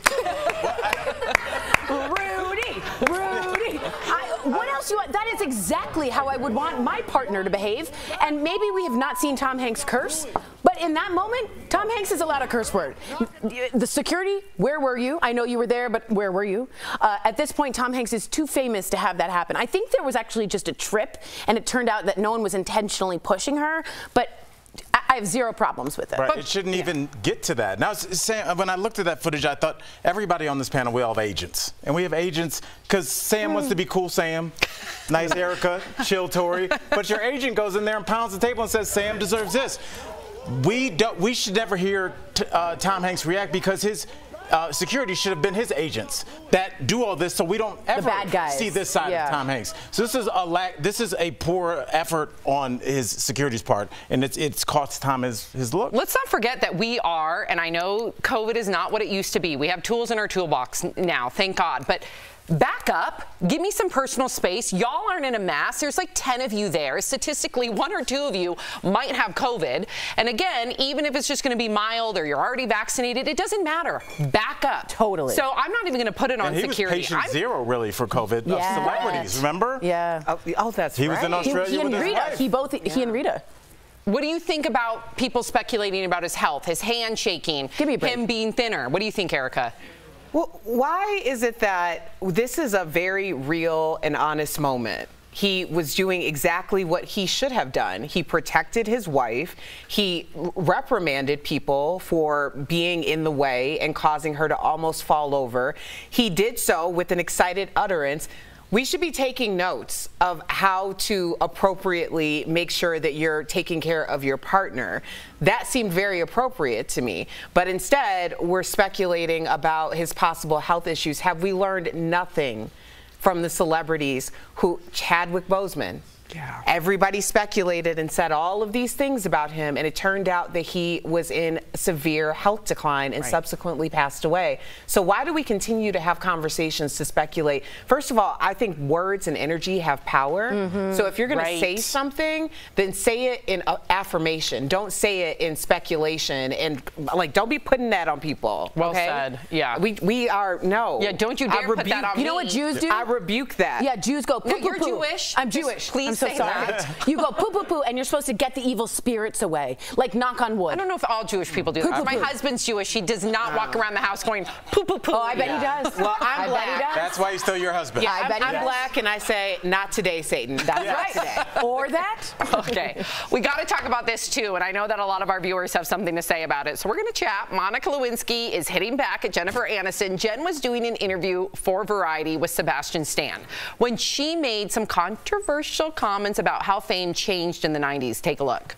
It was right at the time when the internet was just Yeah. becoming. It really sort of shaped so much of a new culture, kind of about I this know. thing of people becoming famous for basically doing not, nothing, but yet having a, a, these incredible careers, and then women's sort of reputation. I mean, Pam, uh, uh, Paris Hilton. We've been in that invasive kind of Yeah. of privacy I know. since.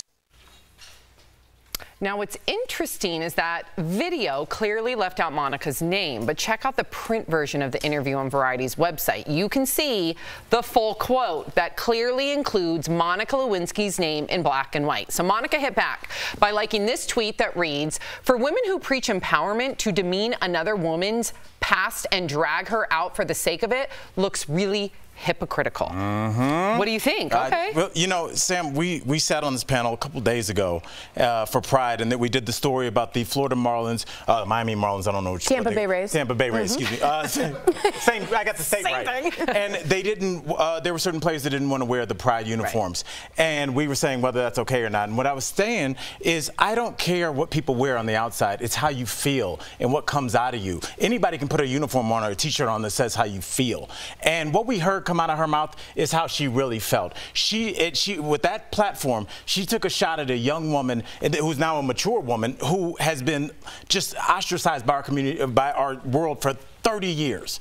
And that's why I say everybody's like pro women and I'm an advocate. But as soon as she got a chance to take some shots, she took it at somebody who had a sex tape, tape leaked without their permission and somebody that was really n- manipulated by the most powerful person in the world. So that's why I'm like, Pause, watch though. your friends. But- watch who says they're friends and watch who acts like your But pause. Pamela, An- Pamela Anderson, according to her, and we're about to see Pam's story when her own documentary comes out, claims that she was a victim, that she did not. She, that That- was, that's what I was but saying. Paris too. Right. Paris And all three of them she Thank mentioned. you. Yeah. All three. Isn't Pam an actress? Yeah, and, and she worked hard on that Baywatch. I just think I thought I thought she stepped in it on this one because none of them backed what she said. And to be honest, all three were put in positions they weren't meant to be put in. Erica? I think she took the words out of my mouth.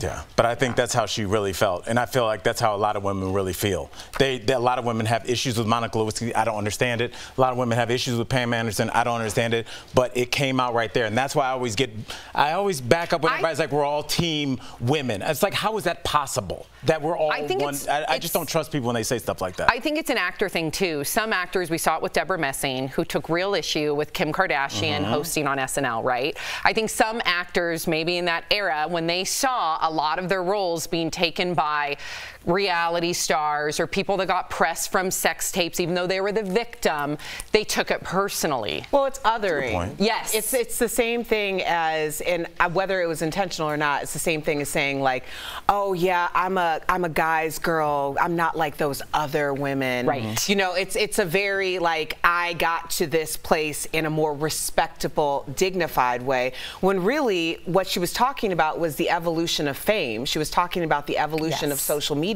and how that catapulted people, unlike what she had, eh, although she came from a privileged position, but it wasn't the immediacy. I see a lot of people, a lot of women who have worked very hard for decades, and because they didn't hit a certain bubble at that time, they don't get the notoriety on social media. They don't get that same type of fame because they don't play in that game. So when the game changes, you either have to be able to evolve with the game or you get left behind. Is that fair?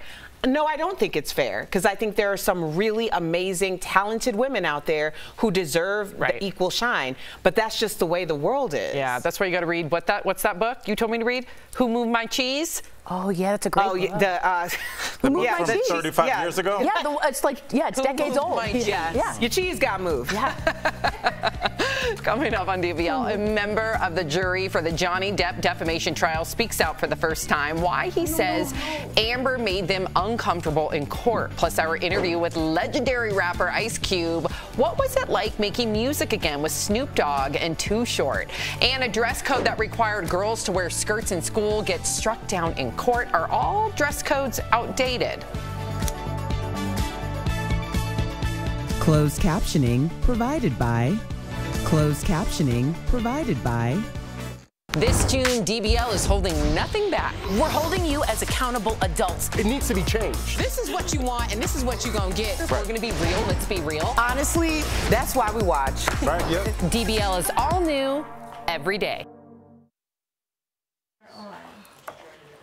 Oh, another thing that I didn't get a chance to talk about, uh, thank you, uh, during the segment was just like the fact, Tim, that they, the, the magazine took out a quote of hers to protect her. Like she, they took out that. We didn't mon- get to that part. Like Tell- how, tell the- because yes. honestly, if that had been a, a right-wing pundit and the publication had censored something to keep their image a certain way, that would have been our lead story. They, they did the same thing with RBG. She said some very negative things about the kneelers and the uh, NFL protesters. You're that right. never came out because You think it's because she's Jennifer Aniston? I or R- RBG. There's certain people that are deemed as un- untouchable, and it makes for a false narrative. Now, Jennifer Aniston never does an interview without her publicist right next to her side. My inclination is that afterwards the publicist I walked over to Variety, whoever was in charge of that article, and said, listen, Take this out." you gotta take out the Monica Lewinsky part. Because for some reason, unfortunately, in this culture, people don't have the same respect for Pam Anderson and Paris Hilton as they do for Monica Lewinsky, who in the last five years has be- become a lot more accepted and seen as a feminist and things like that. That So- says Paris Hilton, I think.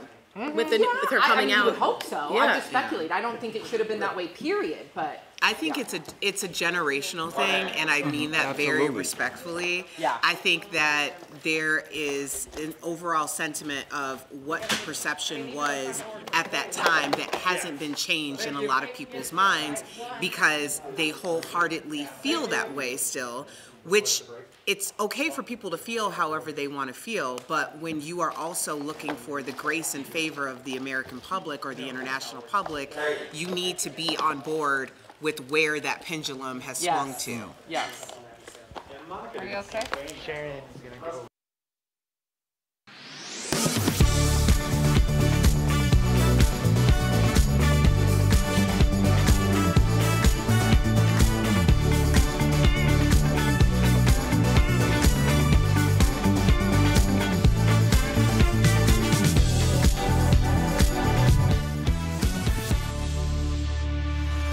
Welcome back. Are dress codes out of date or even worse, are they a way of policing girls or black and brown people? The reason we're asking is because a school in North Carolina recently lost a lawsuit about its dress code. So a federal appeals court ruled the school violated female students' rights by requiring them all to wear skirts, which you see here.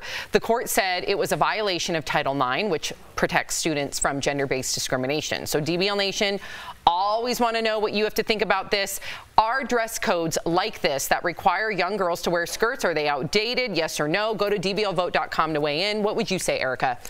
I do not have a problem with dress codes. I think that dress codes absolutely make sense for a lot of people. First of all, not everyone is dealing with the same resources. I think of Viola Davis's new book, Finding Me, where she talked about she only had X amount of clothes to wear to school, so they would have to wash them every night. There are a lot of people out there, a lot of children who are in that situation. So having just a few simple things to pair together to go to school alleviates a lot of stress and bullying. However, when we're talking about this very gender-based discrimination, if you are going to have a dress code and there's skirts, shorts, pants, then every child should have the option to put together whatever pairing of that they would like, not be forced upon it because they happen to be born female. Yeah. Yeah, I mean, oh, go ahead. No, please. Well, I was just going to say, the mother of one of the, the daughters, who was a plaintiff in this case, said, "quote I'm glad the girls will now be, excuse me, be able to er, move, learn, and play on all equal terms as the boys." What's important there is that is what Title IX was supposed to do: equalize the playing field. And if you'd never been in a skirt, It's not as comfortable as you might think, and it gets real hot, and you don't feel comfortable moving the same way. You've got to be careful of what, what people see. So I think the idea that this is a, a Title IX issue and an equal protection issue is right on the market. I happen to not believe in dress codes.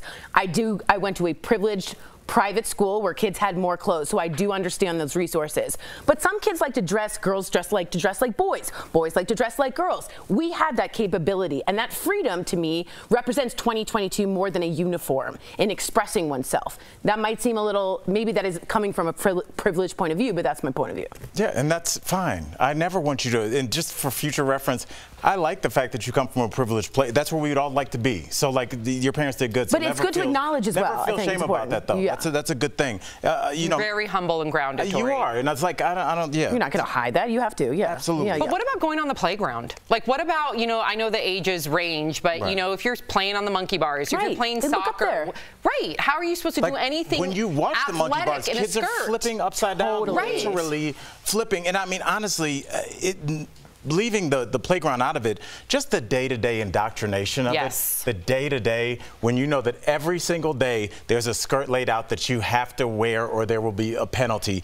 And the people that identify as males in your class are not having that. And it seems like a little thing, but over the course of time, you start to understand that you are different. So there are different rules for you. And if some of those rules are unfair to you, that's okay because you've been dealing with this since the first And grade. you, you are, It's a- sex- it's a you are sexualized low- in that way. Absolutely. Yes, Well yeah. said. Let's see what our viewers believe. Are dress codes that require girls to wear skirts outdated? 70% of you say yes. There you go. Coming up on DBL, we talk with Ice Cube about the return of his pro basketball league, plus making new music with some other legendary rappers. I've never. Most of us have heard the saying, you should drink eight glasses of water a day. With this heat, is that enough water? The question, should everyone always be drinking exactly eight glasses of water a day? Let's verify. Our sources, cardiologist Dr. Pyle Coley and the Mayo Clinic. According to the Mayo Clinic, water makes up about 50 to 70% of our body weight. Water also keeps your temperature normal, lubricates and cushions joints, and protects sensitive tissue. But Dr. Coley says many may not need the traditional eight glasses. Every day should not necessarily be the same amount. It should be adjusted up and down based on what you're doing. So, where does the standard eight glasses of water come from? That eight glasses of water came from the fact that, you know, based on a 2000 calorie diet, for about every calorie that you consume, you need about one milliliter of water. That's about two liters or about eight glasses. Coley says the best way to tell if you're getting enough water in your system is the color of your urine. It should be very light color. Uh, if it's starting to get dark yellow, that means you're not drinking enough. It also depends on your activity level and if you are in a warm environment. The Mayo Clinic states most healthy people stay hydrated by drinking water and other fluids whenever they feel thirsty. For some people, fewer than eight glasses a day might be enough, but others may need more. Dr. Coley says you can actually get water poisoning if you drink too much. You drink so much water that you dilute out the salt in your blood. So we can verify that no, not everybody should always drink exactly eight glasses of water a day. With your Verify, I'm Megan Bragg.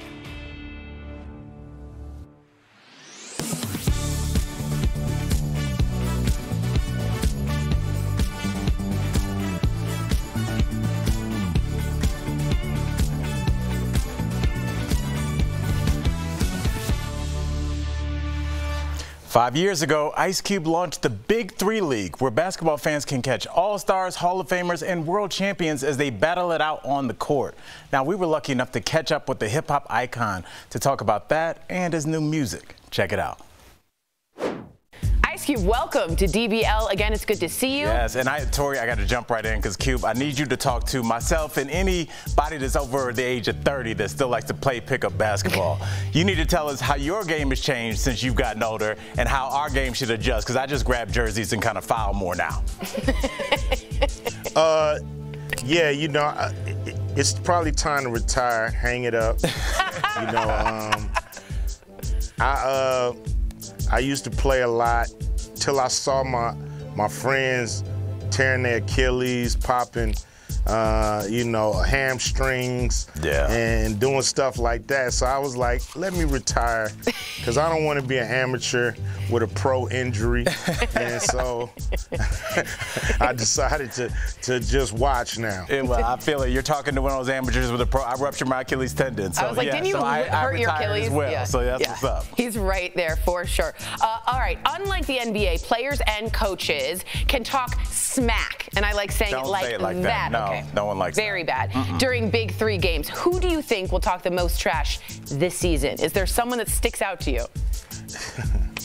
I mean, Gary Payton. you know, he, he's not a player, he's a coach, but he talks the most smack anybody I know, you know, so, you know, he's going to be doing it. You know, I think what's great about allowing guys to be themselves is it ramps up the competition. Mm. Um, I think talking, t- trash talking is the American way, and um, we should not eliminate it from our sports. Hey, I love that. You should run uh, Cube 2024 for president with that. That should be your banner. Trash talk. Now, speaking of trash talk, and I was shocked to hear this, it seems like the NBA has a problem with your league, the Big Three. So, can you talk to us about that beef? Well, I don't, I don't, I wouldn't consider it beef. We want to work in relationship. We think we have a complementary league. You know, we have a, a, a lot of former NBA greats as part of this league, and you know they want to continue to play when there's no room for them in the NBA. So, uh, like I said, we're three on three. They're five on five. They've been around 75 years. We've been around five years. so there's no competition. It's just uh, complimenting each other. That- that's it. Symbiotic. Exactly. And speaking about complimenting each each other, let's get to your new supergroup album. Like I'm a huge hip hop fan, so it's a big deal to me. Mount Westmore got the man Too Short from the Bay Area, E40 also Bay Area, and Snoop will be available, and it'll be available as an NFT. So I know a lot of fans are wondering, hey, I don't know anything about NFTs. Can I still listen to this? Talk to them. Yeah, I mean, you know, it's like doing a it's like doing a record with my crazy cousins. You know, I've been knowing Snoop, 40, Short, been knowing them my whole career. We've been friends for the longest. Now doing this project together it's been it's just been fun, like too much fun. I can't miss. I must have been hypnotized by a hypnotist. Cause every shot I take is every shot I hit. Rim bigger than the ocean. It's nothing but net. Right now it is released as an NFT, but uh, you know, it, it'll be released to the general public a couple of weeks. Uh, so don't worry about it. Uh, we wanted to give people who wanted to to you know buy the record at a premium and also get extra perks. We wanted to give them the shot at it first, but the general public uh, get their shot at it very soon. Speaking for the general public, we can't wait. So I'm That's gonna get on that now. My mom called it a NIFT Yeah, yeah. instead of an NFT. She's like, can I get it as Yeah, a NIFT? NIFT. yeah, that's right. It's nifty. Judy, the old Jew. I love it. Yeah, it is better than NFT. Yeah. It is nifty. Thank you so much for joining us, Ice Cube. It's lovely to have you on again. DBL Nation. Catch the Big Three on CBS and Paramount Plus this summer and visit big3.com for the official game schedule. Always a pleasure. Congrats on five years, my man. Mazel tov. We'll be right back. Thank you. I appreciate it. Absolutely. Thanks, man. Promotional consideration is brought to you by If you spend time on Facebook, you may have seen a friend post something like this a warning that scammers are cloning every account and not to accept friend requests from people you're already friends with. Verify viewer Michael reached out to us on verifythis.com to ask Are scammers cloning Facebook accounts? So, Michael, let's verify. Our sources are Facebook, digital privacy company NordVPN, and cybersecurity firm Bitdefender. Facebook cloning is when someone uses your name and picture to create a fake account. And our sources all agree that, yes, scammers are cloning Facebook accounts to try to trick people into sending money or downloading risky software. Here's how Bitdefender explains it works. First, a scammer takes information from your public profile, like your name, picture, and demographics, and uses it to create a fake account. Then they send friend requests to people you know, sometimes claiming that your old account was hacked and to only use the new fake account. Once they accept the request, the scammer may try to manipulate them into sending money or clicking on malicious links. NordVPN says you can protect yourself by limiting what information is visible in your public profile. Also, Be on the lookout if you get a friend request from someone you're already friends with. If you suspect an account was cloned, you can report it to Facebook. With your Verify, I'm Brandon Lewis. Home prices and rents continue to rise, but the federal minimum wage hasn't changed since 2009. One viral tweet claimed, quote, the average rent in the U.S. hit a new record high of $1,827 last month. On the federal minimum wage of $7.25, people take home $1,256 a month. Let's verify. Has typical rent in America exceeded the income earned on federal minimum wage? Our sources, the Department of Labor, and three real estate sites that produce research on rent prices. The federal minimum wage is $7.25 per hour. So let's calculate monthly income. On a 40-hour work week, if you worked 52 weeks a year, that comes out to $1,256 per month, just like the tweet claimed. Now, of course, some states have minimum wages higher than that, but we'll come back to that. The tweet says the average rent in America is $18.27 per month. That number comes from Realtor.com's April estimate of median rent. It's based off units advertised on the site in the top 50 metro areas and only includes studio, one bedroom, and two bedroom apartments. Redfin does a similar estimate based on listed units of all sizes. Its number for April was 1962 per month. And Zillow's estimate actually tries to account for all rents, not just new listings. Their national typical rent number, 1927 per month. All of those rent estimates are significantly higher than the 1256 per month you can make on federal minimum wage. That means we can verify that the tweet is truthful when it claims typical rent has exceeded the income earned on the federal minimum wage. So what wage would you have to make to afford typical rent in the US? Using Zillow's 1927 estimate, you need to make 1122 per hour. And that's just to make rent. It doesn't account for taxes or other living costs. 16 states plus DC have minimum wages that high, but the cost of rent in those states may be higher than the national estimates. With your Verify, I'm Casey Decker.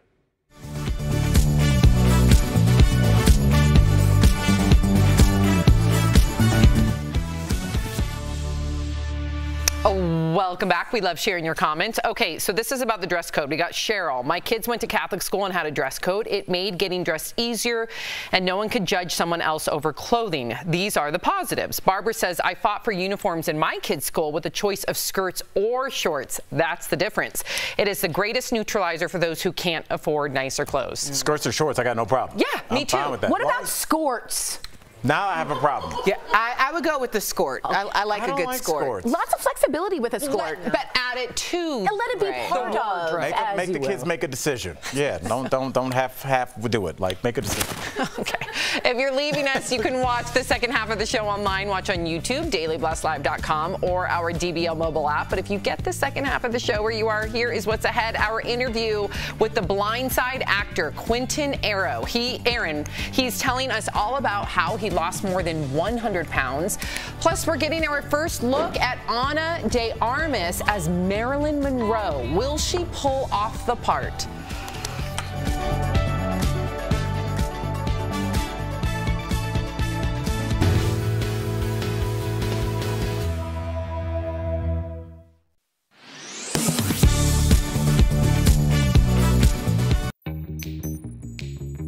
You've heard about closing doors and changing the AC filter as ways to save a few cents and make your home energy efficient. But are there other free ways to save money and cool down your home? To verify, we went to Georgia Power, the U.S. Department of Energy, AARP, and Home Depot. Blinds. The U.S. Department of Energy says 76% of sunlight that hits a standard window becomes heat, so turning your blinds upward actually reduces heat pouring into your home. Ceiling fans. It costs anywhere from 3 to $5 a month on average to run your fan. And there's science behind how it rotates. In the summer, adjust your fan by making it turn counterclockwise. This pushes air down, creating a cool breeze. Now, on to the star of the show the air conditioner and thermostat. Your AC accounts for almost half of your power bill. The Department of Energy recommends keeping your thermostat at 78 degrees. The difference between running your AC at 78 for 8 hours versus running it at 74 is 10% cheaper. Also, there's the 20 degree rule. Setting your AC 20 degrees lower than the outside temperature keeps your AC from unnecessary strain and breaking down. If it's 95 outside, set the AC to 75. If it's 100, set it to 80. So we can verify this one, turning up the AC does save money and energy. And finally, can you get discounts on your bill? Technically, yes. Check with your power company. Many offer budget billing, allowing you to sign up and have your payments set for around the same amount each month. And companies like Georgia Power offer an energy checkup tool, which gives you a customized report of how you use your energy and how to save money.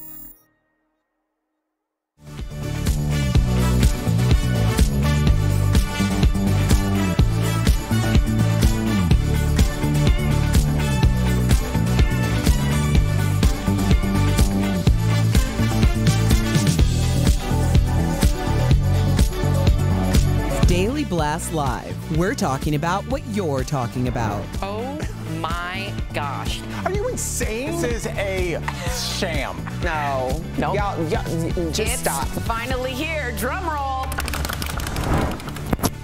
Welcome to DBL.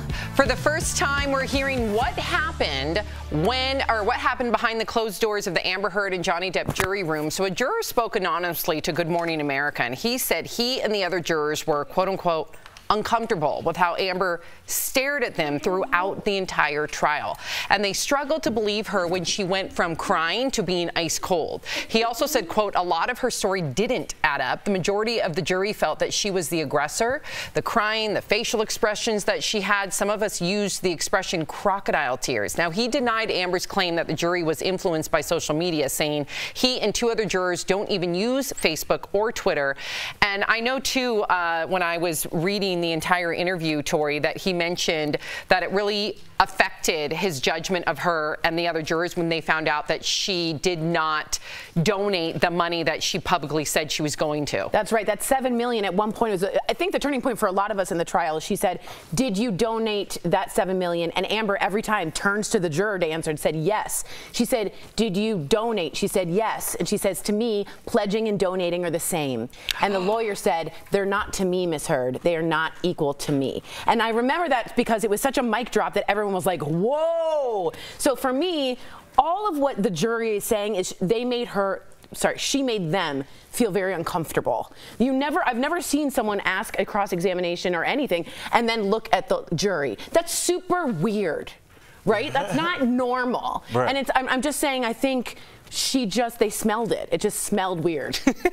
I always say Everything that. smells to Tori. Yeah, everything. Um, yeah, you know, I think this was a fatal flaw from the beginning because I think that Amber Heard was in a position where people were touting her as being brave for being so open with her story, and she was the victim. I'm not saying that she wasn't victimized mm. to some degree. I think that both of them came in with hands that were not clean, but she leaned into the victim role. And when you don't have clean hands Mm. and she's putting in all these other things, that's the reason why everything feels so mechanical, it feels rehearsed, Mm. because she's trying to convince everyone that her hands are clean.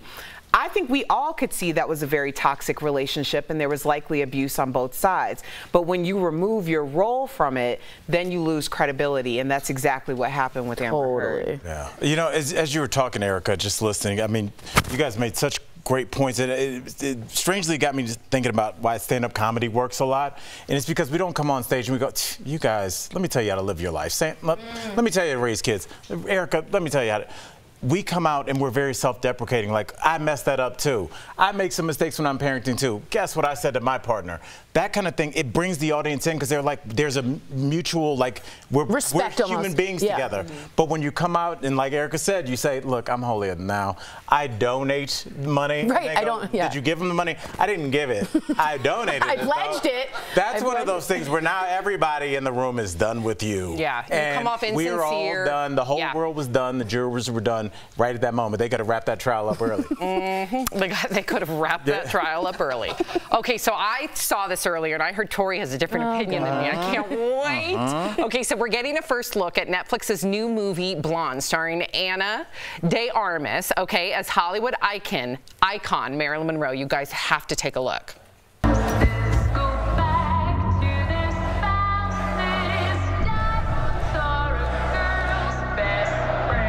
She's coming. She's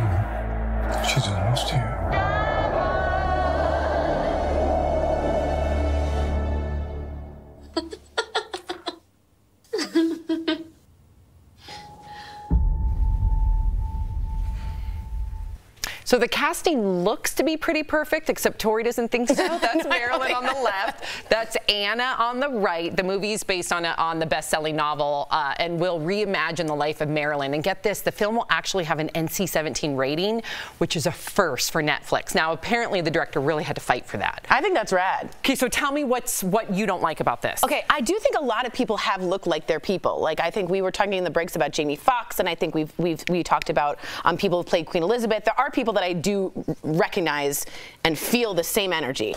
Um, for this one, I found a picture of her in the movie, and it, to me, she's playing a little bit. It looks like more Madonna 1980s, which in the 80s she was playing Marilyn Monroe, Madonna. So here's a picture next to it, and see on the right, that's her in the movie, Ana, and on the left is uh, Marilyn Monroe. And I just happen to see sharper features. I picture more voluptuousness, and I really want. No, honestly, if you're doing Marilyn Monroe, it's all about aesthetics, and if you don't match that, then I'm not I- into the movie. Can I challenge you? Please. Because I went down the rabbit hole. You know, Okay. when I get into something, I get real into something. So this director, every single image, every single scene is based off a photograph. So if you would have pulled the photograph that he based that look off of, it would have been uncanny. I don't think it would have been. it would have been uncanny. Still Number not two. good enough. Number two. For her. No, it's not. Number two, it took her nine months to nail her singing voice, her real voice. Now, she had the best dialect coach, coaches in the world afterwards tell the director she's ready. So not only has this actress put in the work, but again, you're looking at different.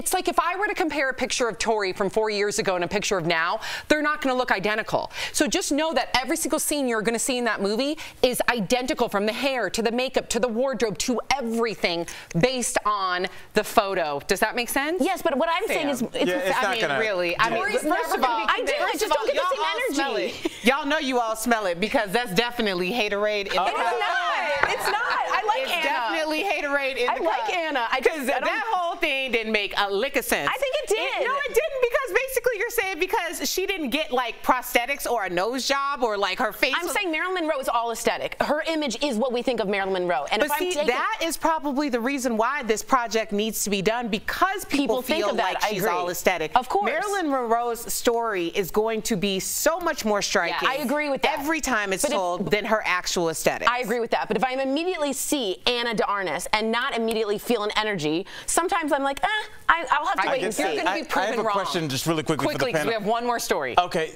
if it's a, obviously it's going to go into her life, there's going to be a lot of sadness. Is that going to ruin it because she is an icon for her no, beauty? You need to know no, her truth. you're- I'm likening this to the Billie Holiday story, the people versus Billie Holiday. My buddy Tone We- Bell's in That there. took nothing but added all the love and accolades that she deserved while she was here, and I think that this is going to be a very similar Me type too. of I can't wait. I think Ana's going to knock it out of the park. But I, think I could be, I'm sure I could be very wrong. I think you're going to end up.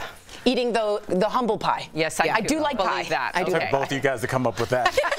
Sam was like, please help me. Yeah, help me. okay, so last summer's breakthrough hit Squid Game is becoming a reality show. The original show followed a group of people as they competed in childhood games with a very dark twist if you've seen it. Anyone who lost those games were killed. Spoiler alert. Netflix says the reality show will be the biggest reality competition ever. Here's a look at the trailer.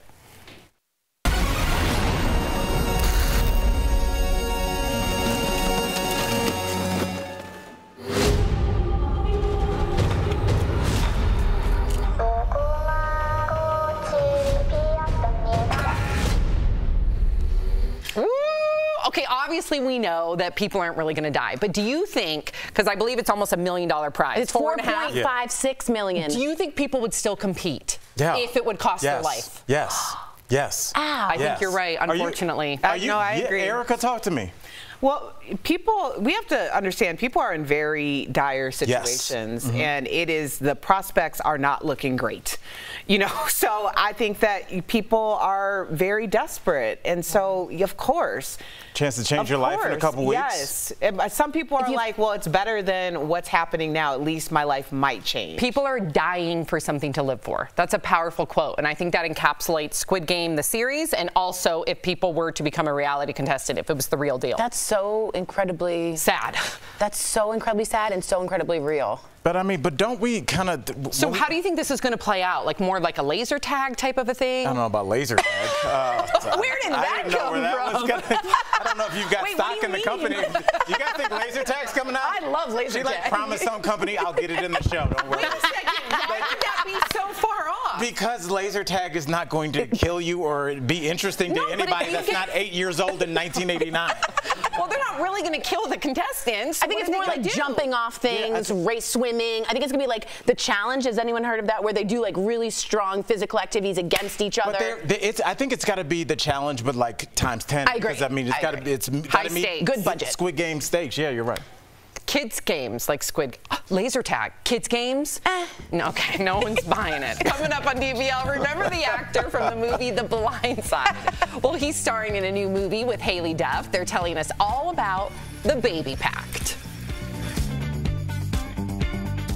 Closed captioning provided by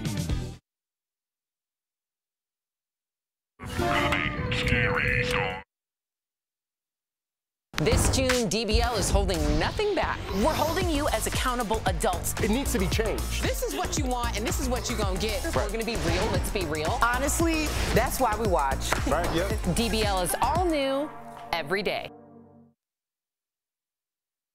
So, Olivia, tell them we're talking about paintball or laser tag. I want to do both. I've done laser tag a bunch of times. I've Laser never tag, you don't feel getting shot, but yeah, paintball, you do. sounds so fun. I I've gone paintballing probably five times, oh, and like Erica's depending on, I'm not great because depending on who you go with, oh, like some people are more aggressive. They'll get Yes. really close to you, like and if that. you hit get hit within like a close to me five foot nail me with range, like it will leave a welt on you. Like I had welts on my Can body. you wear armor? Yeah, people will wear like they tell you to wear like people have like full suits and stuff that they'll wear. I was wearing thing? like oh yeah. hoodies. It is a It's its own Like, we should go and do it. That'd be fun. week as like a team building activity. That would be so fun. Can we do that before September? Yeah. The reason I We would definitely do it can't do it before a hot promo out, though. shoot. Oh yeah. Yeah, I just don't like this. I don't like Can't to commit to anything like that for a week, for the whole afternoon. Well, Like no, no, just like we're in a field now shooting it. I'm like. After 20 minutes, I'm ready to go from anything. I don't care what's happening. Boring. Massage. I don't Really? care if I'm in like? Hawaii Yeah, then that's under a, a whirlpool. I don't want to be anywhere for more You don't wanna- Your attention, attention span. I You wouldn't. You don't want to lay on a beach for more than 20 minutes. You don't want to go on a jet ski for the more beach than 20 is, minutes. It's beach. The sand is just overachieving dirt to me. it's I don't. It's, tru- it's trust fund dirt. No, I don't like. What about like a the boat? beach. So if I took you out on the lake on a boat, I 20 minutes later, you have to come back in. Like in. golfing or playing basketball or At something. least golfing, we're doing kind of different things. You're hitting. I'm watching Chris hit. We're walking. We're in the car. I'm fine with like little things that are moving around, but like paintball, it's like, okay, I just shot Chris. Okay, now he's gonna come after me. I gotta So hide. So you could never be the person like the sniper that's back no, there and waits. No, I his- have things to do. I have three children. I'm ready to be an adult. I don't need to be shooting.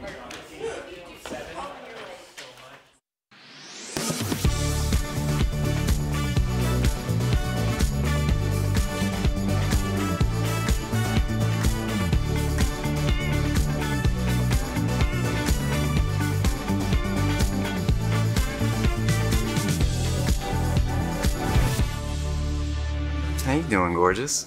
Well, hungry all the time, and I'm tired and stressed out and moody.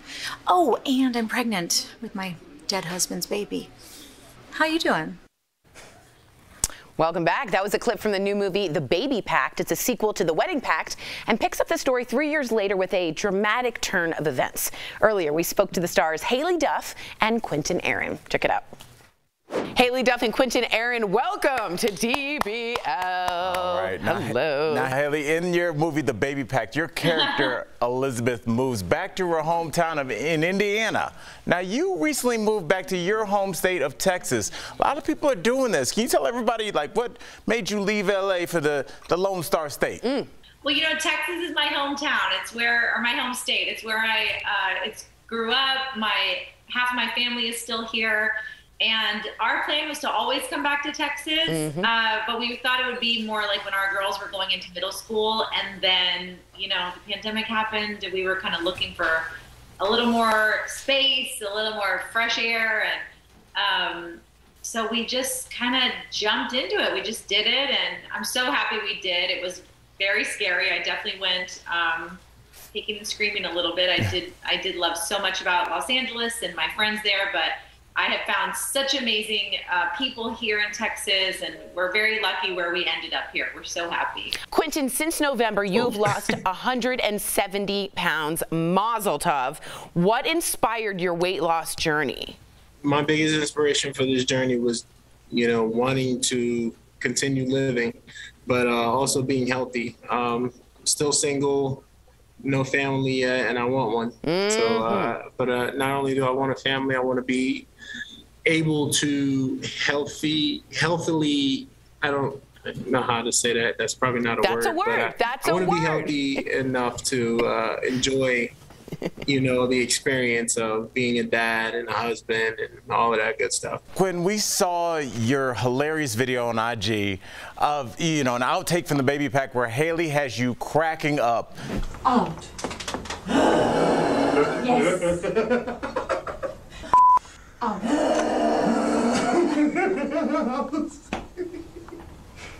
I'm sorry. I was... The behind the scenes, everybody knows is the best. Did you have a hard time keeping it together during these scenes? I yeah, we did. We did. Um, the Lamaze scenes were hilarious. First of all, that was my first time in a Lamaze class of any sort. You know, not being a dad and anything. But um, yeah, the breathing techniques. I wasn't prepared for that. You know, the, just the. the I was like, oh my god.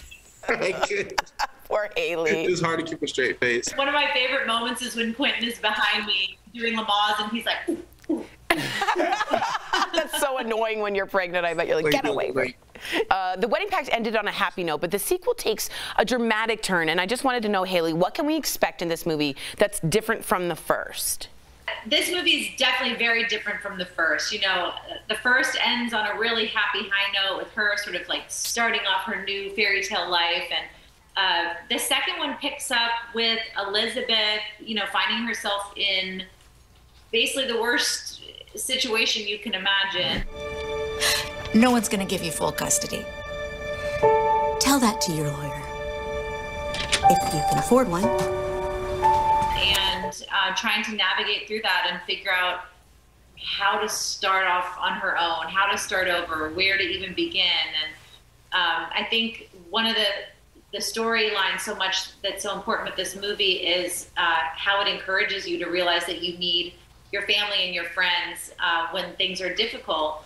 I think there's a lot for us to learn from a story like this, and I love that families can watch it together and kids can watch it, and we're so excited that people get to see it now. That's fantastic. Can't Haylie and wait. Quinton, I cannot wait. Thank you so much for joining us. DBL Nation, be sure to check out the Wedding Pact 2, the Baby Pact. It includes breath dancing. It's available now exclusively on pay-per-view, video on demand, and other major platforms. Thank you so much You for guys are joining us. We are so grateful Appreciate for that. y'all. Thanks. We'll be right back. Thanks, guys. Thank you, guys. See you. Hi. Most of us have heard the saying, you should drink eight glasses of water a day. With this heat, is that enough water? The question, should everyone always be drinking exactly eight glasses of water a day? Let's verify. Our source is cardiologist Dr. Pyle Coley and the Mayo Clinic. According to the Mayo Clinic, water makes up about 50 to 70% of our body weight. Water also keeps your temperature normal, lubricates and cushions joints, and protects sensitive tissue. But Dr. Coley says many may not need the traditional eight glasses. Every day should not necessarily be the same amount. It should be adjusted up and down based on what you're doing. So, where does the standard eight glasses of water come from? That eight glasses of water came from the fact that, you know, based on a 2000 calorie diet, for about every calorie that you consume, you need about one milliliter of water. That's about two liters or about eight glasses. Coley says the best way to tell if you're getting enough water in your system is the color of your urine. It should be very light color. Uh, if it's starting to get dark yellow, that means you're not drinking enough. It also depends on your activity level and if you are in a warm environment. The Mayo Clinic states most healthy people stay hydrated by drinking water and other fluids whenever they feel thirsty. For some people, fewer than eight glasses a day might be enough, but others may need more. Dr. Coley says you can actually get water poisoning if you drink too much. You drink so much water that you dilute out the salt in your blood. So we can verify that no, not everybody should always drink exactly eight glasses of water a day. With your Verify, I'm Megan Bragg.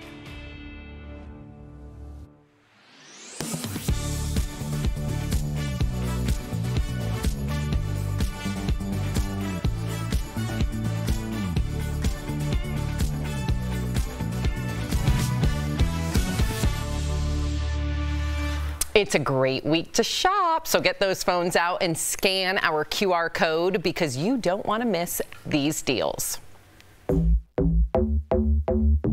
Steph, what do you have for us today? Hi, Tori. Hello, DBL Nation. Guess what? We've got some amazing products and deals just like this one. Whoa. So high tech. We've got the Miko Yoshino Shiatsu foot massager.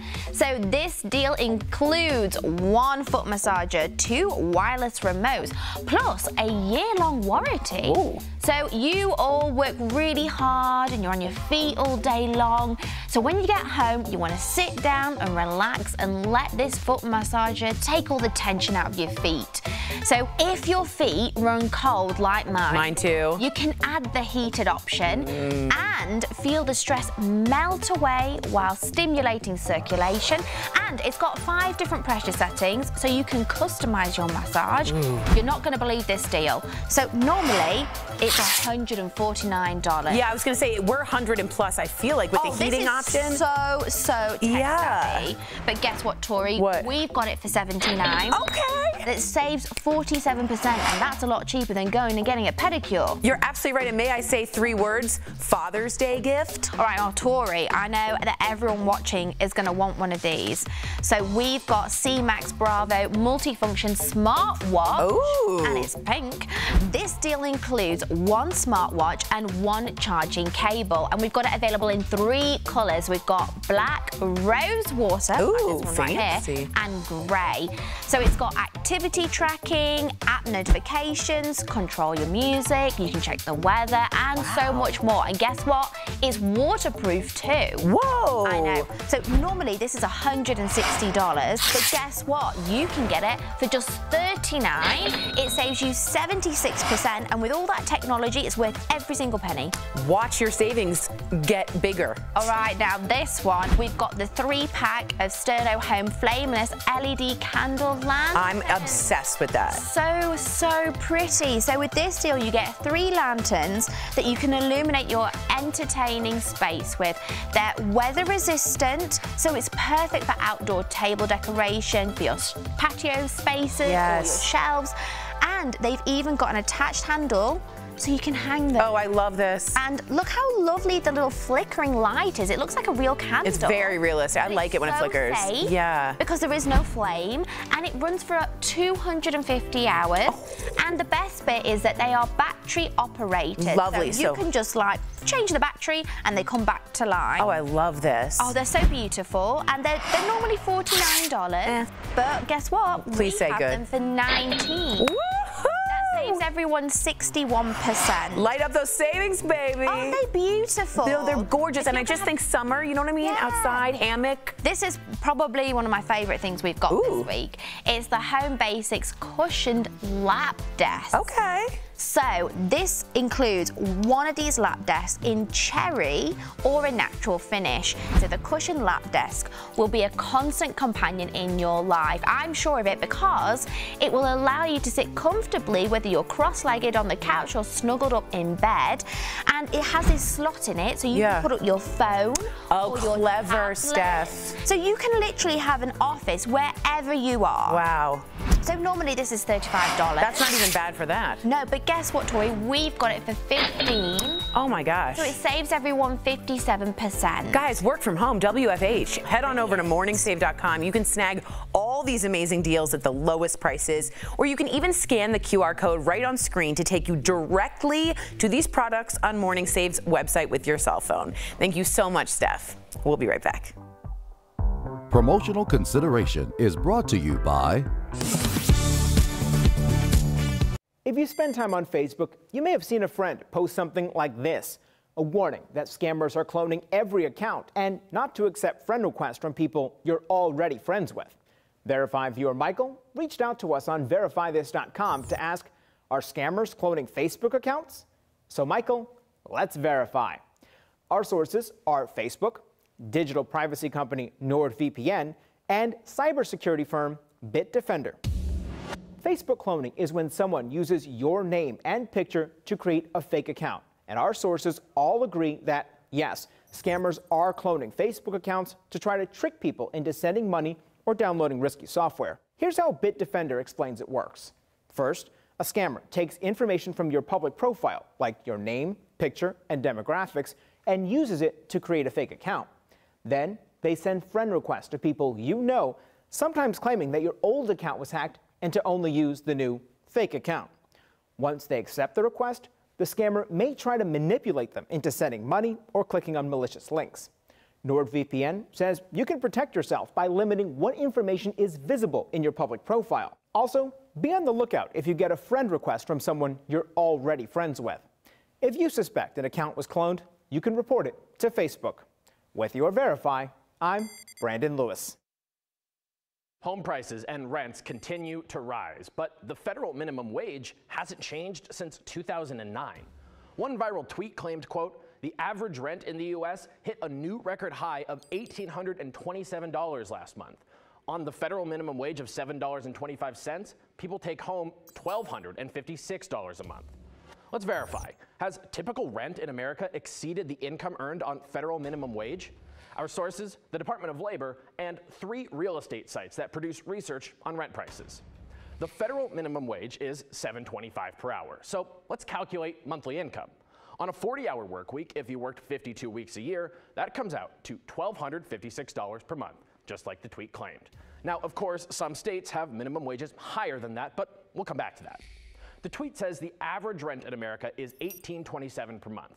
That number comes from Realtor.com's April estimate of median rent. It's based off units advertised on the site in the top 50 metro areas and only includes studio, one bedroom, and two bedroom apartments. Redfin does a similar estimate based on listed units of all sizes. Its number for April was 1962 per month. And Zillow's estimate actually tries to account for all rents, not just new listings. Their national typical rent number, 1927 per month. All of those rent estimates are significantly higher than the $12.56 per month you can make on federal minimum wage. That means we can verify that the tweet is truthful when it claims typical rent has exceeded the income earned on the federal minimum wage. So what wage would you have to make to afford typical rent in the US? Using Zillow's 1927 estimate, you need to make 1122 per hour.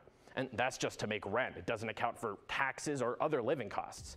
16 states plus DC have minimum wages that high, but the cost of rent in those states may be higher than the national estimates. With your Verify, I'm Casey Decker.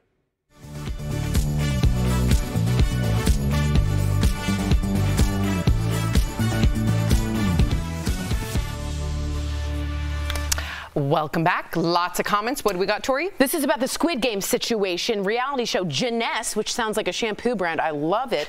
People already risk their lives on shows like Survivor and Naked and Afraid. They get injured or go starving just for like a cash prize and a little fame. Yeah. But, but if you were like, death is a, I don't know. If you $5 million is dangling in front of your face, oh. stakes are high. Yeah. That's right. Bullet's got a cute laugh.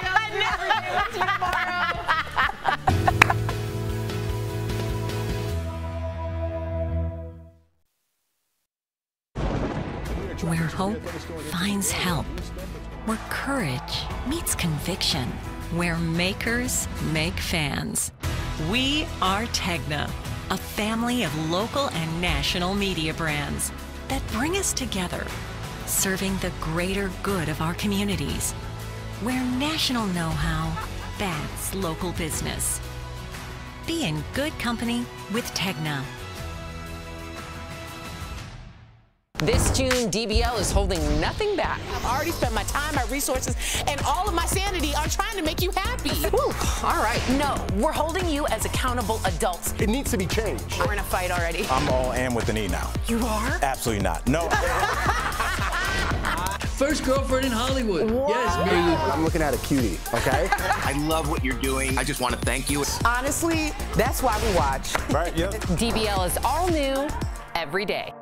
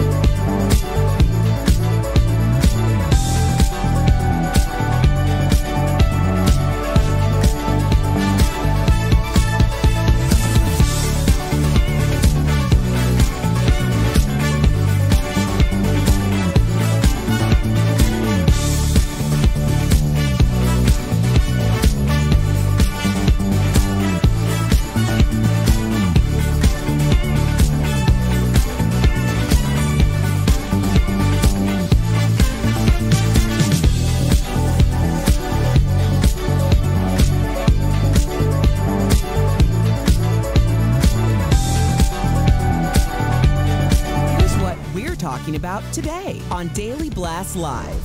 No more Mr. Nice Guy. Tom Hanks doesn't hold back protecting wife Rita Wilson from an aggressive crowd.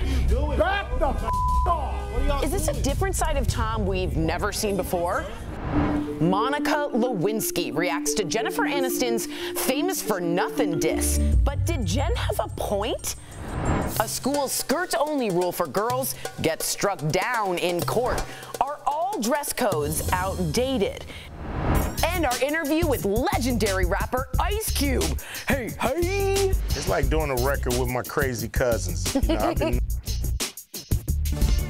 Oh my gosh. Are you insane? This is a sham. No. No. Y'all, y'all, just It's stop. finally here. Drum roll. Welcome to DBO, Three Girls and Al. You like it? My spinoff show. Yeah. you feel pretty like. I do. Yeah, I can Yes. tell. Okay, he's glowing. All right, so we've been talking a lot about how summer blockbuster season is back in full force. Well, Tom Hanks has been out and about promoting his new film, Elvis. But things got a little out of hand in New York City last night. Fans and the paparazzi nearly knocked over his wife, Rita Wilson. Check out Tom's response. How you been? Whoa, whoa, whoa. Stop it! What are you doing? What are y'all doing? What are you doing? People are crazy, bro. Knock it over my wife. Yeah, they're bugging. Sorry to talk about that. Whew, Tom is also making headlines with people speculating about his health after they saw his hand shaking at one appearance. He's also been looking pretty thin, according to many of his fans, like at this Australian premiere for his film. Let's get to the health part afterwards, which I even hate speculating about other people's health, but we'll get to that because we have to address it since people are writing in about it. What did you think about his reaction to the paparazzi? So what? The beginning of Rudy? Rudy, Rudy. I, what else you want? That is exactly how I would want my partner to behave. And maybe we have not seen Tom Hanks curse, but in that moment, Tom Hanks is allowed a curse word. The security, where were you? I know you were there, but where were you? Uh, at this point, Tom Hanks is too famous to have that happen. I think there was actually just a trip, and it turned out that no one was intentionally pushing her, but I I have zero problems with it. Right. it shouldn't even get to that. Now, Sam, when I looked at that footage, I thought everybody on this panel, we all have agents. And we have agents because Sam wants to be cool Sam, nice Erica, chill Tori. But your agent goes in there and pounds the table and says, Sam deserves this. We, don't, we should never hear t- uh, Tom Hanks react because his uh, security should have been his agents that do all this so we don't ever bad guys. see this side Yeah. of Tom Hanks. So this is a lack, this is a poor effort on his security's part, and it's it's cost Tom his his look. Let's not forget that we are, and I know COVID is not what it used to be. We have tools in our toolbox now, thank God. But back up, give me some personal space. Y'all aren't in a mass. There's like 10 of you there. Statistically, one or two of you might have COVID. And again, even if it's just going to be mild or you're already vaccinated, it doesn't matter. Back up. Totally. So I'm not even going to put it on And he security. was patient I'm- zero, really, for COVID. Of Yes. celebrities, remember? Yeah. Oh, oh, that's He was in right. He, he and with his Rita. wife. He both. He and Rita. What do you think about people speculating about his health, his hand shaking, Give me a break. him being thinner? What do you think, Erica? Well, why is it that this is a very real and honest moment? He was doing exactly what he should have done. He protected his wife. He reprimanded people for being in the way and causing her to almost fall over. He did so with an excited utterance. We should be taking notes of how to appropriately make sure that you're taking care of your partner. That seemed very appropriate to me. But instead, we're speculating about his possible health issues. Have we learned nothing from the celebrities who, Chadwick Boseman, Yeah. Everybody speculated and said all of these things about him, and it turned out that he was in severe health decline and subsequently passed away. So, why do we continue to have conversations to speculate? First of all, I think words and energy have power.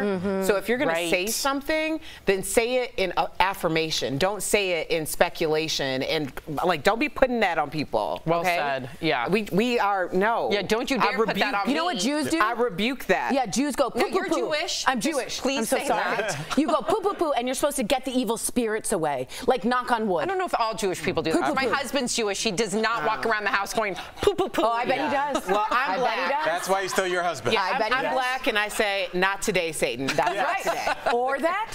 Okay, we got to talk about this too, and I know that a lot of our viewers have something to say about it, so we're going to chat. Monica Lewinsky is hitting back at Jennifer Aniston. Jen was doing an interview for Variety with Sebastian Stan when she made some controversial comments about how fame changed in the 90s. Take a look. It was right at the time when the internet was just Yeah. becoming. It really sort of shaped so much of a new culture, kind of about this thing of people becoming famous for basically doing not, nothing, but yet having a, car- these incredible careers, and then women's sort of reputation. I mean, Pam, uh, uh, Paris Hilton. We've been in that invasive kind of Yeah. of privacy I know. since. Now, what's interesting is that video clearly left out Monica's name, but check out the print version of the interview on Variety's website. You can see the full quote that clearly includes Monica Lewinsky's name in black and white. So Monica hit back by liking this tweet that reads, For women who preach empowerment to demean another woman's past and drag her out for the sake of it looks really hypocritical. What do you think? Uh, Okay. well, you know, Sam, we, we sat on this panel a couple days ago uh, for Pride, and then we did the story about the Florida Marlins, uh, Miami Marlins. I don't know which Tampa what they- Bay Rays. Tampa Bay Rays. Mhm. Excuse me. Uh, same, same. I got the state Same right. thing. And they didn't. Uh, there were certain players that didn't want to wear the Pride uniforms, and we were saying whether that's okay or not. And what I was saying is, I don't care what people wear on the outside. It's how you feel and what comes out of you. Anybody can put a uniform on or a T-shirt on that says how you feel. And what we heard come out of her mouth is how she really felt. She, it, she, with that platform, she took a shot at a young woman eh, who's now a mature woman who has been just ostracized by our community, by our world for 30 years.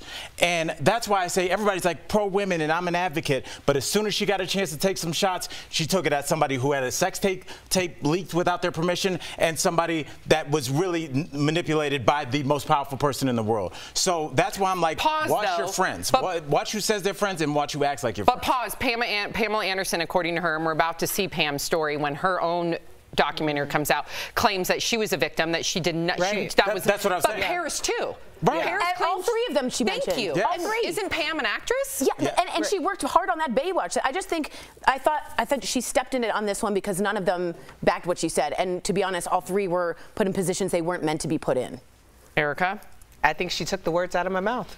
Yeah, but I think that's how she really felt, and I feel like that's how a lot of women really feel. They, they- a lot of women have issues with Monica Lewinsky. I don't understand it. A lot of women have issues with Pam Anderson. I don't understand it, but it came out right there, and that's why I always get, I always back up when everybody's like, "We're all team women." It's like, how is that possible? That we're all I think one? it's- I, I it's- just don't trust people when they say stuff like that. I think it's an actor thing too. Some actors, we saw it with Debra Messing, who took real issue with Kim Kardashian Mhm. hosting on SNL, right? I think some actors, maybe in that era, when they saw a lot of their roles being taken by reality stars or people that got press from sex tapes, even though they were the victim, they took it personally. Well, it's othering. Yes. It's it's the same thing as, and uh, whether it was intentional or not, it's the same thing as saying like, oh yeah, I'm a I'm a guy's girl. I'm not like those other women. Right. You know, it's it's a very like I got to this place in a more respectable, dignified way. When really what she was talking about was the evolution of fame. She was talking about the evolution of social media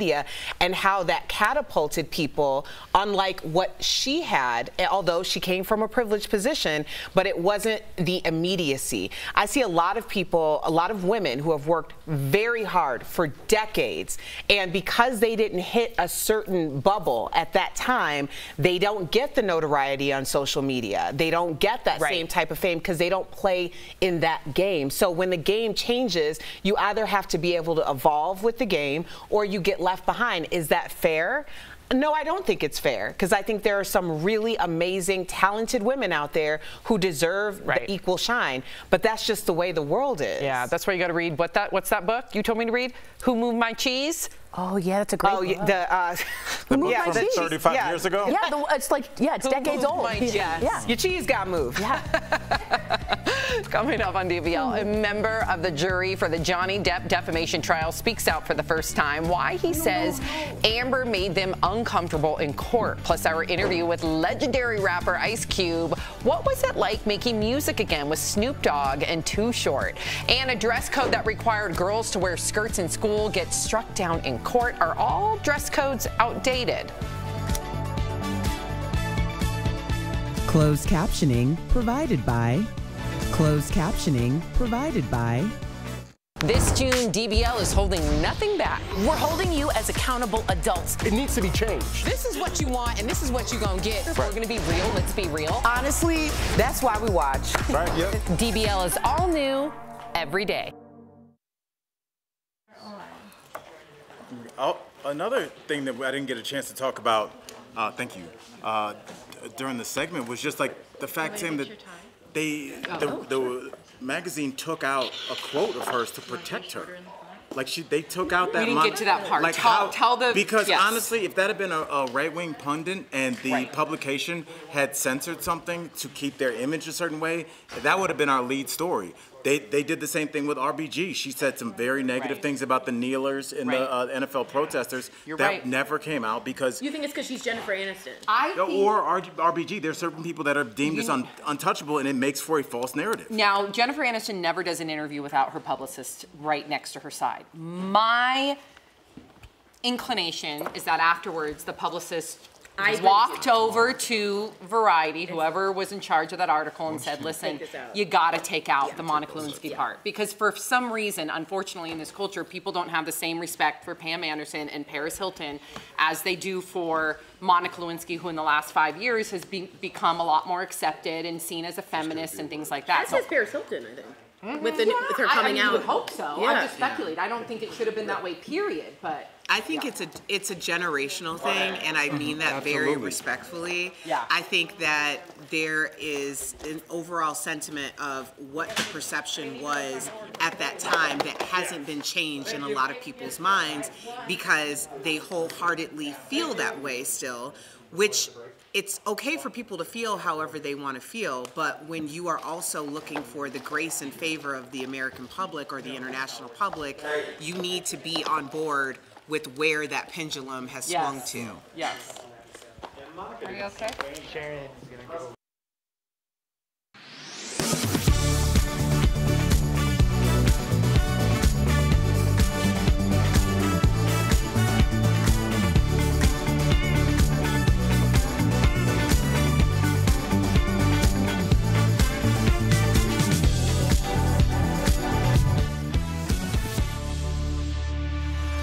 Welcome back. Are dress codes out of date or even worse, are they a way of policing girls or black and brown people? The reason we're asking is because a school in North Carolina recently lost a lawsuit about its dress code. So a federal appeals court ruled the school violated female students' rights by requiring them all to wear skirts, which you see here. The court said it was a violation of Title IX, which protects students from gender based discrimination. So, DBL Nation, always want to know what you have to think about this. Are dress codes like this that require young girls to wear skirts, are they outdated? Yes or no? Go to dblvote.com to weigh in. What would you say, Erica? I do not have a problem with dress codes. I think that dress codes absolutely make sense for a lot of people. First of all, not everyone is dealing with the same resources. Right. I think of Viola Davis's new book, Finding Me, where she talked about she only had X amount of clothes to wear to school, so they would have to wash them every night. There are a lot of people out there, a lot of children who are in that situation. So having just a few simple things to pair together to go to school alleviates a lot of stress and bullying. However, when we're talking about this very gender-based discrimination, if you are going to have a dress code and there's skirts, shorts, pants, then every child should have the option to put together whatever pairing of that they would like, not be forced upon it because they happen to be born female. Yeah. Yeah, I mean, oh, go ahead. No, please. Well, I was just going to say, the mother of one of the, the daughters, who was a plaintiff in this case, said, "quote I'm glad the girls will now be, excuse me, be able to er, move, learn, and play on all equal terms as the boys." What's important there is that is what Title IX was supposed to do: equalize the playing field. And if you'd never been in a skirt, it's not as comfortable as you might think, and it gets real hot, and you don't feel comfortable moving the same way. You've got to be careful what, what people see. So I think the idea that this is a, a Title IX issue and an equal protection issue is right on the market. I happen to not believe in dress codes. I do. I went to a privileged private school where kids had more clothes, so I do understand those resources. But some kids like to dress, girls dress like to dress like boys, boys like to dress like girls. We had that capability, and that freedom to me represents 2022 more than a uniform in expressing oneself. That might seem a little, maybe that is coming from a privileged point of view, but that's my point of view. Yeah, and that's fine. I never want you to, and just for future reference, I like the fact that you come from a privileged place. That's where we'd all like to be. So, like, the, your parents did good. So but it's good feel, to acknowledge as never well. Never feel shame about that, though. Yeah. That's, a, that's a good thing. Uh, you know, very humble and grounded. You are, and it's like I don't, I don't. Yeah. You're not going to hide that. You have to. Yeah. Absolutely. Yeah, but yeah. what about going on the playground? Like, what about you know? I know the ages range, but Right. you know, if you're playing on the monkey bars, if you're playing They look up soccer, there. right? How are you supposed to Like, do anything? When you watch the monkey athletic bars, in a kids are skirt? flipping upside down, Totally. literally flipping. And I mean, honestly, uh, it. Leaving the, the playground out of it, just the day-to-day indoctrination of Yes. it, the day-to-day, when you know that every single day there's a skirt laid out that you have to wear or there will be a penalty, and the people that identify as males in your class are not having that. And it seems like a little thing, but over the course of time, you start to understand that you are different, so there are different rules for you, and if some of those rules are unfair to you, that's okay because you've been dealing with this since the first And grade. you, you are, It's a- sex- a you are sexualized low- in that way. Absolutely. Yes, well yes, yeah. said. Let's see what our viewers believe. Are dress codes that require girls to wear skirts outdated? 70% of you say yes. There you go. Coming up on DBL, we talk with Ice Cube about the return of his pro basketball league, plus making new music with some other legendary rappers. I've never. Most of us have heard the saying, you should drink eight glasses of water a day. With this heat, is that enough water? The question, should everyone always be drinking exactly eight glasses of water a day? Let's verify. Our source is cardiologist Dr. Pyle Coley and the Mayo Clinic. According to the Mayo Clinic, water makes up about 50 to 70% of our body weight. Water also keeps your temperature normal, lubricates and cushions joints, and protects sensitive tissue. But Dr. Coley says many may not need the traditional eight glasses. every day should not necessarily be the same amount. It should be adjusted up and down based on what you're doing. So, where does the standard eight glasses of water come from? That eight glasses of water came from the fact that, you know, based on a 2000 calorie diet, for about every calorie that you consume, you need about one milliliter of water. That's about two liters or about eight glasses. Coley says the best way to tell if you're getting enough water in your system is the color of your urine. Should be very light color. Uh, if it's starting to get dark yellow, that means you're not drinking enough.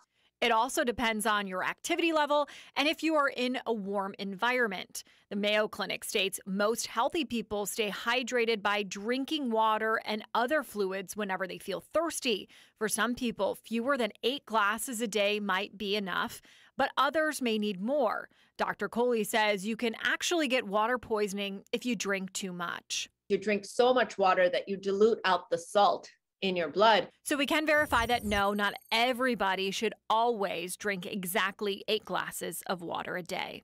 With your Verify, I'm Megan Bragg.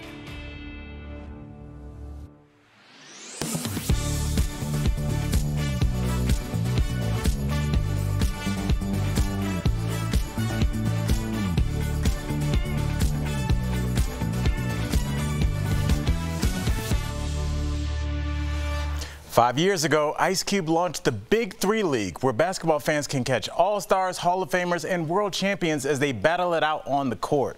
Now, we were lucky enough to catch up with the hip hop icon to talk about that and his new music. Check it out. Ice Cube, welcome to DBL. Again, it's good to see you. Yes, and I, Tori, I got to jump right in because Cube, I need you to talk to myself and anybody that's over the age of 30 that still likes to play pickup basketball. you need to tell us how your game has changed since you've gotten older and how our game should adjust because I just grab jerseys and kind of foul more now. uh, yeah, you know, it's probably time to retire, hang it up. you know, um, I uh, I used to play a lot till I saw my my friends tearing their Achilles, popping uh, you know, hamstrings yeah. and doing stuff like that. So I was like, let me retire because I don't want to be an amateur with a pro injury. and so I decided to, to just watch now. Yeah, well, I feel it. You're talking to one of those amateurs with a pro. I ruptured my Achilles tendon. So, I was like, yeah, didn't you so I, hurt I your Achilles? well, yeah. so that's yeah. what's up. He's right there for sure. Uh, all right, unlike the NBA, players and coaches can talk smack, and I like saying don't it like, say it like that. that. No, okay. no one likes Very that. bad. Mm -mm. During Big Three games, who do you think will talk the most trash this season? Is there someone that sticks out to you? I mean, Gary Payton. you know, he, he's not a player, he's a coach, but he talks the most smack anybody I know, you know, so, you know, he's going to be doing it. You know, I think what's great about allowing guys to be themselves is it ramps up the competition. Mm. Um, I think talking, trash talking is the American way, mm-hmm. and um, we should not eliminate it from our sports. Mm-hmm. Hey, I love that. You should run uh, Cube 2024 for president with that. That should be your banner. trash talk. Now, speaking of trash talk, and I was shocked to hear this, it seems like the NBA has a problem with your league, the Big Three. So, can you talk to us about that beef? Well, I don't, I don't, I wouldn't consider it beef. We want a working relationship. Mm-hmm. We think we have a complementary league. You know, we have a, a, a, lot of former NBA greats as part of this league, and you know they want to continue to play when there's no room for them in the NBA. So, uh, like I said, we're three on three. They're five on five. They've been around 75 years. We've been around five years. so there's no competition. It's just uh, complimenting each other. Mm. That, Symbiotic. A, exactly. And speaking about complimenting each other, let's get to your new supergroup album. Like, I'm a huge hip hop fan, so it's a big deal to me. Mount Westmore mm. got the man Too Short from the Bay Area, E40 also Bay Area, and Snoop will be available, and it'll be available as an NFT. So I know a lot of fans are wondering, hey, I don't know anything about NFTs. Can I still listen to this? Talk to them. Yeah, I mean, you know, it's like doing a it's like doing a record with my crazy cousins. You know, I've been knowing Snoop, 40, Short, been knowing them my whole career. We've been friends for the longest. Now doing this project together, it's been it's just been fun, like too much fun. I can't miss, I must have been hypnotized by a hypnotist, cause every shot I take is every shot I hit. Rim bigger than the ocean, it's nothing but net. Right now it is released as an NFT, but uh, you know, it, will be released to the general public a couple of weeks. Uh, don't worry about it. Uh, we wanted to give people who wanted to to you know buy the record at a premium and also get extra perks. Mm. We wanted to give them a shot at it first, but the general public uh, get their shot at it very soon. That's Speaking good. for the general public, we can't wait. So That's I'm going right. to get on that now. My mom called it a NIFT. Yeah, yeah. Instead of an NFT, she's like, can I get it as yeah, a NIFT? NIFT. yeah, that's right. It's nifty. Judy, the old Jew, I love it. Yeah, it is better than NFT. Yeah. It is nifty. Thank you so much for joining us, Ice Cube. It's lovely to have you on again. DBL Nation, catch the Big Three on CBS and Paramount Plus this summer, and visit big3.com for the official game schedule. Always a pleasure. Congrats on five years, my man. Mazel tov. We'll be right back. Thank you. I appreciate it. Absolutely. Thanks, man. Promotional consideration is brought to you by. If you spend time on Facebook, you may have seen a friend post something like this a warning that scammers are cloning every account and not to accept friend requests from people you're already friends with. Verify viewer Michael reached out to us on verifythis.com to ask Are scammers cloning Facebook accounts? So, Michael, let's verify. Our sources are Facebook, digital privacy company NordVPN, and cybersecurity firm Bitdefender. Facebook cloning is when someone uses your name and picture to create a fake account. And our sources all agree that, yes, scammers are cloning Facebook accounts to try to trick people into sending money or downloading risky software. Here's how Bitdefender explains it works. First, a scammer takes information from your public profile, like your name, picture, and demographics, and uses it to create a fake account. Then they send friend requests to people you know, sometimes claiming that your old account was hacked and to only use the new fake account. Once they accept the request, the scammer may try to manipulate them into sending money or clicking on malicious links.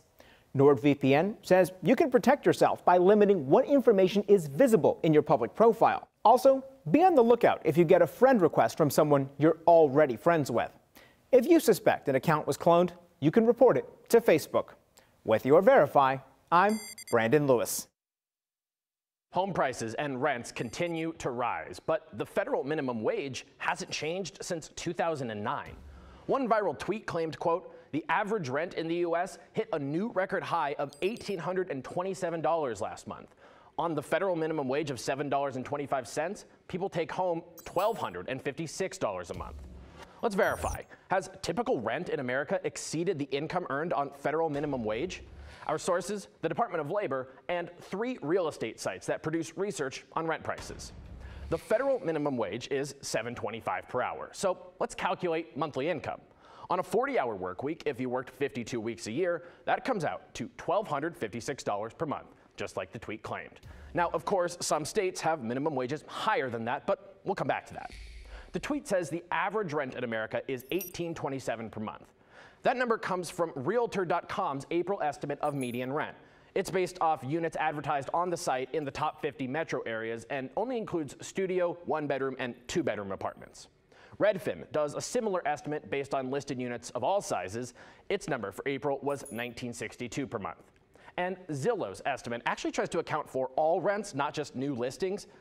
Their national typical rent number, 1927 per month all of those rent estimates are significantly higher than the 1256 per month you can make on federal minimum wage. That means we can verify that the tweet is truthful when it claims typical rent has exceeded the income earned on the federal minimum wage. So what wage would you have to make to afford typical rent in the US? Using Zillow's 1927 estimate, you need to make 1122 per hour. And that's just to make rent. It doesn't account for taxes or other living costs. 16 states plus DC have minimum wages that high, but the cost of rent in those states may be higher than the national estimates. With your Verify, I'm Casey Decker.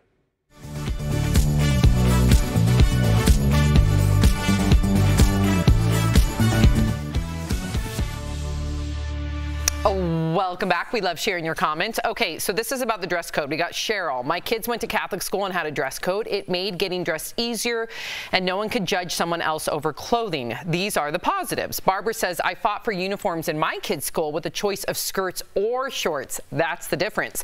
It is the greatest neutralizer for those who can't afford nicer clothes. Skirts or shorts, I got no problem. Yeah, me I'm too. with that. What about skirts?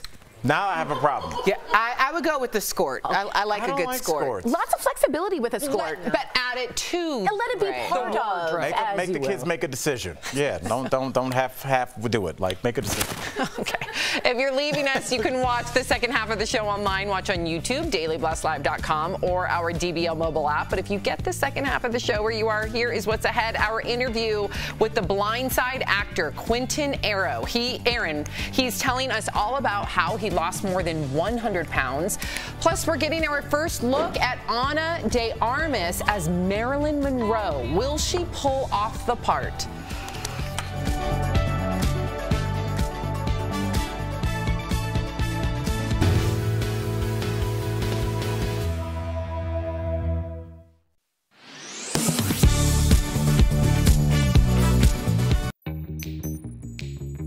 You've heard about closing doors and changing the AC filter as ways to save a few cents and make your home energy efficient. But are there other free ways to save money and cool down your home? To verify, we went to Georgia Power, the U.S. Department of Energy, AARP, and Home Depot. Blinds.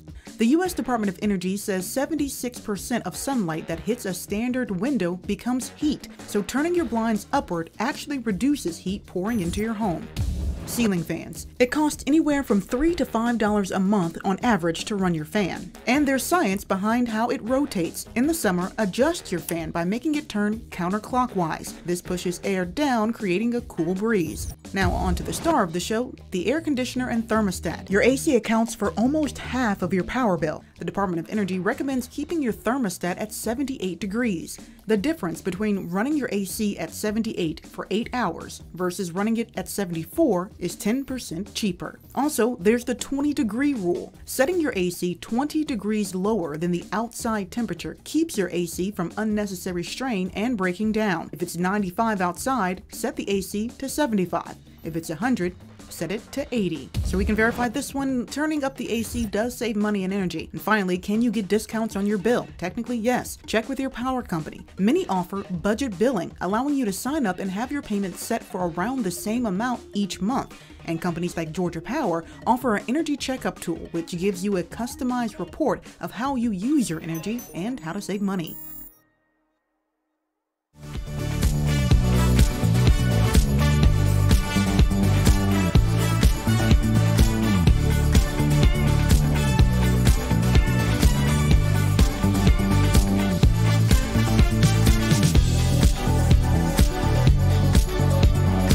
Daily Blast Live. We're talking about what you're talking about. Oh my gosh. Are you insane? This is a sham. No. No. Y'all, y'all, just it's stop. finally here. Drum roll.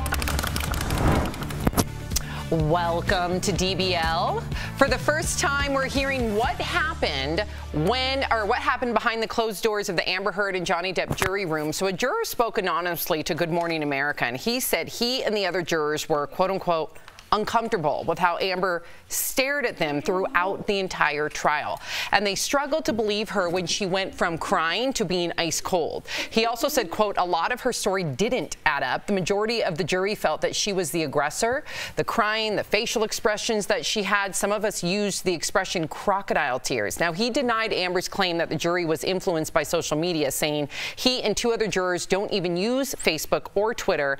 And I know, too, uh, when I was reading the entire interview, Tori, that he mentioned that it really affected his judgment of her and the other jurors when they found out that she did not donate the money that she publicly said she was going to. That's right. That seven million at one point was, uh, I think, the turning point for a lot of us in the trial. She said, "Did you donate that seven million? And Amber every time turns to the juror to answer and said yes. She said, "Did you donate?" She said yes, and she says, "To me, pledging and donating are the same."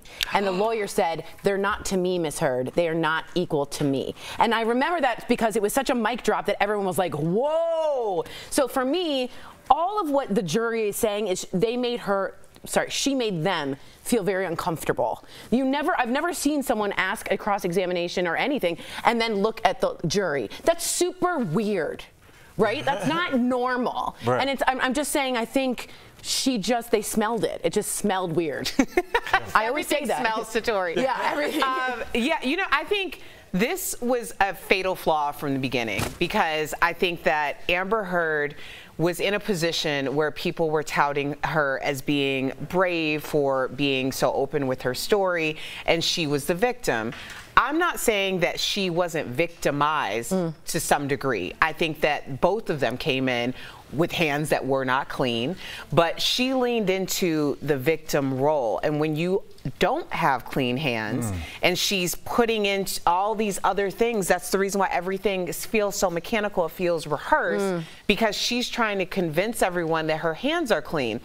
I think we all could see that was a very toxic relationship and there was likely abuse on both sides. But when you remove your role from it, then you lose credibility. And that's exactly what happened with Amber Heard. Yeah. You know, as, as you were talking, Erica, just listening, I mean, you guys made such great points. It, it, it strangely got me just thinking about why stand-up comedy works a lot. And it's because we don't come on stage and we go, you guys, let me tell you how to live your life. Sam, let, let me tell you how to raise kids. Erica, let me tell you how to we come out and we're very self-deprecating. Like I messed that up too. I make some mistakes when I'm parenting too. Guess what I said to my partner? That kind of thing. It brings the audience in because they're like, there's a mutual like we're, Respect we're human beings Yeah. together. Mhm. But when you come out and like Erica said, you say, look, I'm holier than thou. I donate money. Right, They I don't- yeah. Did you give them the money? I didn't give it. I donated I pledged it. That's I one of those things where now everybody in the room is done with you. Yeah, you and come off We are all done. The whole Yeah. world was done. The jurors were done right at that moment. They got to wrap that trial up early. They, got- they could have wrapped that trial up early. Okay, so I saw this earlier and I heard Tori has a different Oh, opinion than me. I can't wait. Uh-huh. Okay, so we're getting a first look at Netflix's new movie Blonde, starring Ana de Armas, okay, as Hollywood icon, icon Marilyn Monroe. You guys have to take a look.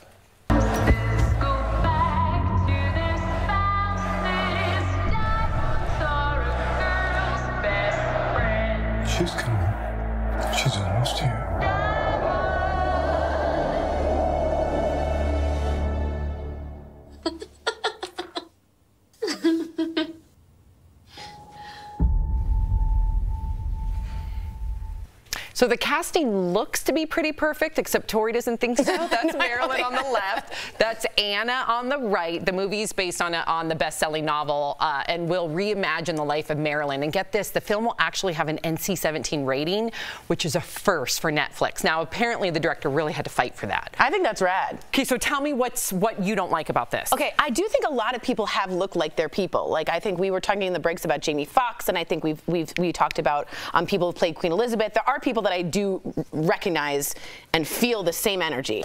Um, for this one, I found a picture of her in the movie, and it, to me, she's playing a little bit. It looks like more Madonna 1980s, which in the 80s she was playing Marilyn Monroe, Madonna. So here's a picture next to it, and see on the right, that's her in the movie, Ana, and on the left is uh, Marilyn Monroe. And I just happen to see sharper features. I picture more voluptuousness, and I really want. No, honestly, if you're doing Marilyn Monroe, it's all about aesthetics, and if you don't match that, then I'm not I- into the movie. Can I challenge you? Please. Because I went down the rabbit hole. You know, when I get into something, I get real into something. So this director, every single image, every single scene is based off a photograph. So if you would have pulled the photograph that he based that look off of, it would have been uncanny. I don't think it Tori, would have been. it would have been uncanny. Still Number not two. good enough. Number two. For her. No, it's not. Number two, it took her nine months to nail her singing voice, her real voice. Now, she had the best dialect coach, coaches in the world afterwards tell the director she's ready. So not only has this actress put in the work, but again, you're looking at different it's like if I were to compare a picture of Tori from four years ago and a picture of now, they're not going to look identical. So just know that every single scene you're going to see in that movie is identical from the hair to the makeup to the wardrobe to everything based on the photo. Does that make sense? Yes, but what I'm saying is, it's Yeah, it's I not mean, gonna- really. I mean, Tori's first never of all, I do, I just of don't get the same energy. Y'all know you all smell it because that's definitely haterade in the It's cup. not. It's not. I like it's Ana. definitely haterade in I the like cup. Ana. I just- Because I don't- that whole thing didn't make of sense. I think it did. no, it didn't because basically you're saying because she didn't get like prosthetics or a nose job or like her face. I'm was- saying Marilyn Monroe is all aesthetic. Her image is what we think of Marilyn Monroe. And but if I'm see, taking, that is probably the reason why this project needs to be done because people, People think feel of that. like I she's agree. all aesthetic. Of course. Marilyn Monroe's story is going to be so much more striking. I agree with that. Every time it's But if- told than her actual aesthetic. I agree with that. But if I immediately see Ana de Armas and not immediately feel an energy, sometimes I'm like, eh, I, I'll have to I wait guess and you're gonna be proven I proven have a wrong. question just really quickly, for Quickly, the because we have one more story. Okay, if it's a, obviously it's going to go into her life. There's going to be a lot of sadness. Is that going to ruin it because she is an icon for her no, beauty? You need to know no, her truth. you're- I'm likening this to the Billie Holiday story, the People versus Billie Holiday. My buddy Tone We- Bell's in That there. took nothing but added all the love and accolades that she deserved while she was here, and I think that this is going to be a very similar Me type too. of I can't wait. I think Ana's going to knock it out of the park. But I, think I could be, I'm sure I could be very wrong. I think you're going to end up. Eating the the humble pie. Yes, I, I do like believe pie. that. I do Took Okay. both of you guys to come up with that. Sam was like, please help me. Yeah, help me. okay, so last summer's breakthrough hit Squid Game is becoming a reality show. The original show followed a group of people as they competed in childhood games with a very dark twist if you've seen it. Anyone who lost those games were killed. Spoiler alert. Netflix says the reality show will be the biggest reality competition ever. Here's a look at the trailer.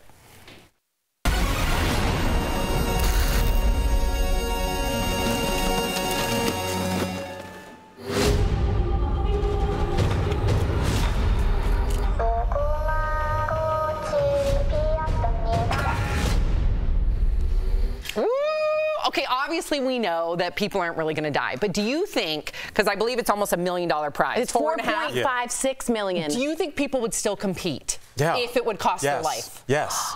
Yes. I think you're right, Are you- unfortunately. Are uh, you, no, I yeah, agree. Erica, talk to me.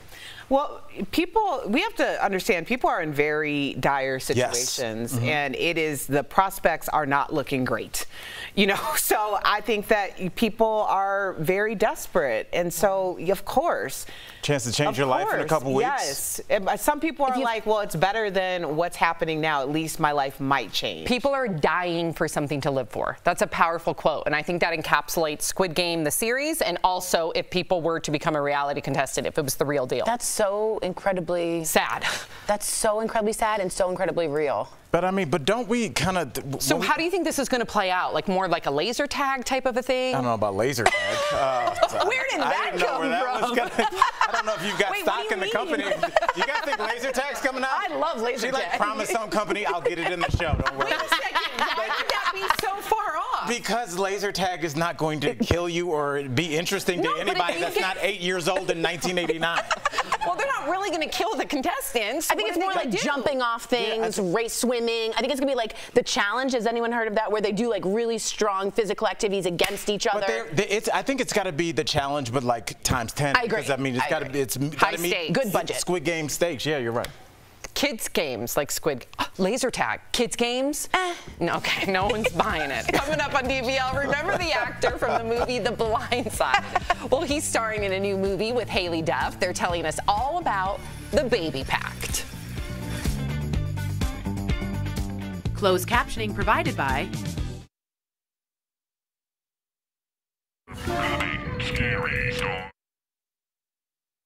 This June, DBL is holding nothing back. We're holding you as accountable adults. It needs to be changed. This is what you want, and this is what you're gonna get. If we're gonna be real, let's be real. Honestly, that's why we watch. Right. Yep. DBL is all new every day.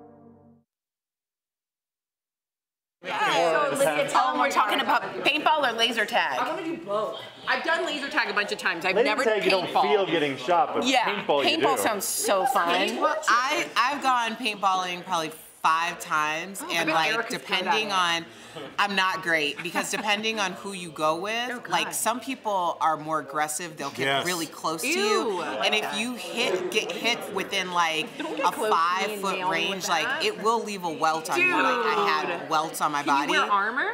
Yeah, people will wear like they tell you to wear like people have like full suits and stuff that they'll wear. I was wearing thing? like Oh two yeah. hoodies. It's its own Like, we should go and do it. That would be fun. week as like a team building activity. That would be so fun. Can we do that before September? Yeah. The reason I We wouldn't definitely do it can't do it before a promo out, though. shoot. Oh, oh yeah. Yeah, I just don't like this. I don't like to Can't do commit to for- anything like that for a week, for the whole afternoon. Well, Like no, no, just like we're in a field now shooting it. I'm like, after 20 minutes, I'm ready to go from anything. I don't care what's happening. Boring. Massage. I don't Really? care if I'm in like a boat? Hawaii Man, under a, a whirlpool. I don't want to be anywhere for more You than don't 20 wanna- minutes. Your attention, attention span. I You hate- wouldn't. You don't want to lay on a beach for more than 20 minutes. You don't want to go on a jet ski for the more than 20 is, minutes. It's beach. The sand is just overachieving dirt to me. it's I don't. It's, tru- it's trust fund dirt. No, I don't like. What about like a the boat? beach. So if I took you out on the lake on a boat, I 20 minutes later, you have to come back in. Like golfing or playing basketball or At something. least golfing, we're doing kind of different things. You're hitting. I'm watching Chris hit. We're walking. We're in the car. I'm fine with like little things that are moving around, but like paintball, it's like, okay, I just shot Chris. Okay, now he's gonna come after me. I gotta So hide. So you could never be the person like the sniper that's back there and No, waits. I his- have things to do. I have three children. I'm ready to be an adult. I don't need to be shooting.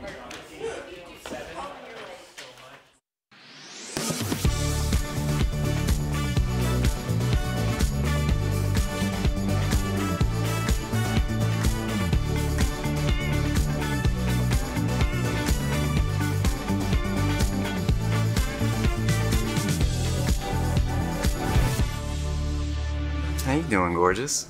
Well, hungry all the time, and I'm tired and stressed out and moody. Oh, and I'm pregnant with my dead husband's baby. How you doing? Welcome back. That was a clip from the new movie, The Baby Pact. It's a sequel to The Wedding Pact and picks up the story three years later with a dramatic turn of events. Earlier, we spoke to the stars Haylie Duff and Quinton Aaron. Check it out. Haylie Duff and Quinton Aaron, welcome to DBL. All right, now, Hello. Now, Haylie, in your movie The Baby Pact, your character Elizabeth moves back to her hometown of in Indiana. Now, you recently moved back to your home state of Texas. A lot of people are doing this. Can you tell everybody like what made you leave LA for the the Lone Star State? Mm. Well, you know, Texas is my hometown. It's where, or my home state. It's where I, uh, it's grew up. My half of my family is still here.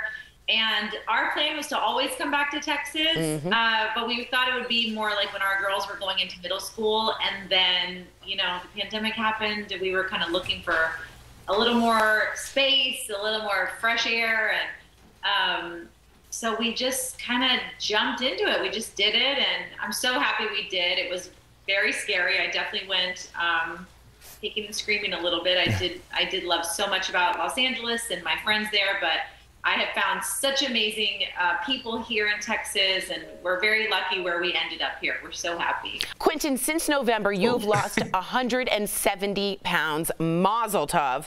What inspired your weight loss journey? my biggest inspiration for this journey was, you know, wanting to continue living, but uh, also being healthy. Um, still single, no family yet, and I want one. So, uh, but uh, not only do I want a family, I want to be able to healthy, healthily.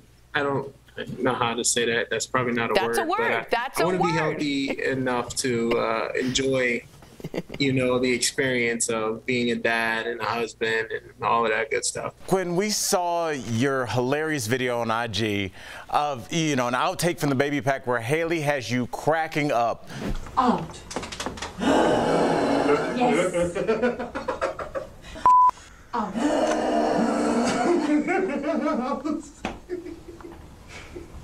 sorry. I was...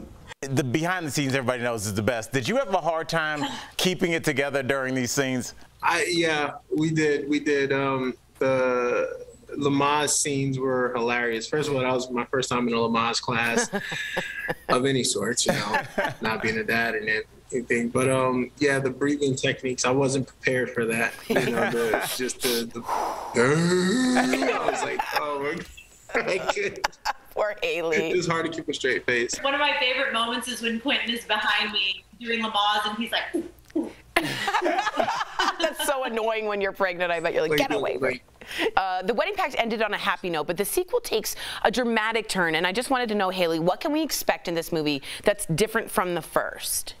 This movie is definitely very different from the first. You know, the first ends on a really happy high note with her sort of like starting off her new fairy tale life. And uh, the second one picks up with Elizabeth, you know, finding herself in basically the worst situation you can imagine. No one's going to give you full custody. Tell that to your lawyer. If you can afford one. And uh, trying to navigate through that and figure out how to start off on her own, how to start over, where to even begin. And um, I think one of the the storyline so much that's so important with this movie is uh, how it encourages you to realize that you need your family and your friends uh, when things are difficult. I think there's a lot for us to learn from a story like this, and I love that families can watch it together and kids can watch it, and we're so excited that people get to see it now. That's fantastic. Can't Haylie and wait. Quinton, I cannot wait. Thank you so much for joining us. DBL Nation, be sure to check out the Wedding Pact 2, the Baby Pact. It includes breath dancing. It's available now exclusively on pay-per-view, video on demand, and other major platforms. Thank you so much You for guys are joining us. We are so grateful Appreciate for that. Thanks. We'll be right back. Thanks, guys. Thank you, guys. See you. Hi. Most of us have heard the saying, you should drink eight glasses of water a day. With this heat, is that enough water? The question, should everyone always be drinking exactly eight glasses of water a day? Let's verify. Our source is cardiologist Dr. Pyle Coley and the Mayo Clinic. According to the Mayo Clinic, water makes up about 50 to 70% of our body weight. Water also keeps your temperature normal, lubricates and cushions joints, and protects sensitive tissue. But Dr. Coley says many may not need the traditional eight glasses. Every day should not necessarily be the same amount. It should be adjusted up and down based on what you're doing. So, where does the standard eight glasses of water come from? That eight glasses of water came from the fact that, you know, based on a 2000 calorie diet, for about every calorie that you consume, you need about one milliliter of water. That's about two liters or about eight glasses. Coley says the best way to tell if you're getting enough water in your system is the color of your urine. It should be very light color. Uh, if it's starting to get dark yellow, that means you're not drinking enough. It also depends on your activity level and if you are in a warm environment. The Mayo Clinic states most healthy people stay hydrated by drinking water and other fluids whenever they feel thirsty. For some people, fewer than eight glasses a day might be enough, but others may need more. Dr. Coley says you can actually get water poisoning if you drink too much. You drink so much water that you dilute out the salt in your blood. So we can verify that no, not everybody should always drink exactly eight glasses of water a day. With your Verify, I'm Megan Bragg.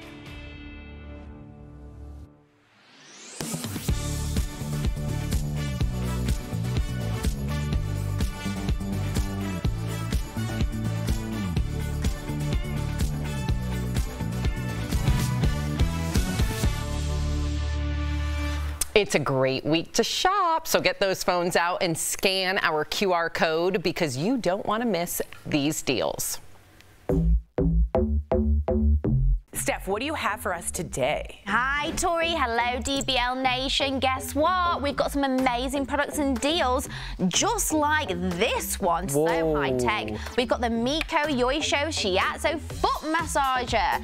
So this deal includes one foot massager, two wireless remotes, plus a year-long warranty. Ooh. So you all work really hard and you're on your feet all day long. So when you get home, you want to sit down and relax and let this foot massager take all the tension out of your feet.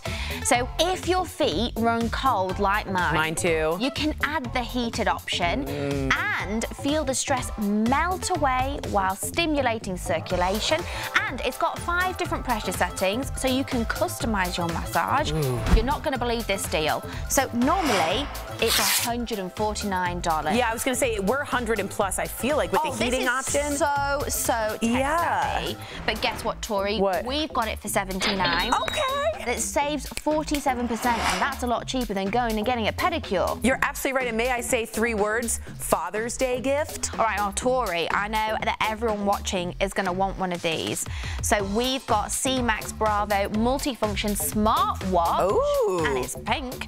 This deal includes one smartwatch and one charging cable. And we've got it available in three colours. We've got black, rose water, like Ooh, this one right here, and grey. So it's got activity tracking, app notifications, control your music, you can check the weather, and so much more. And guess what? It's waterproof too. Whoa. I know. So normally this is $160, but guess what? You can get it for just 39. It saves you 76%, and with all that technology, it's worth every single penny.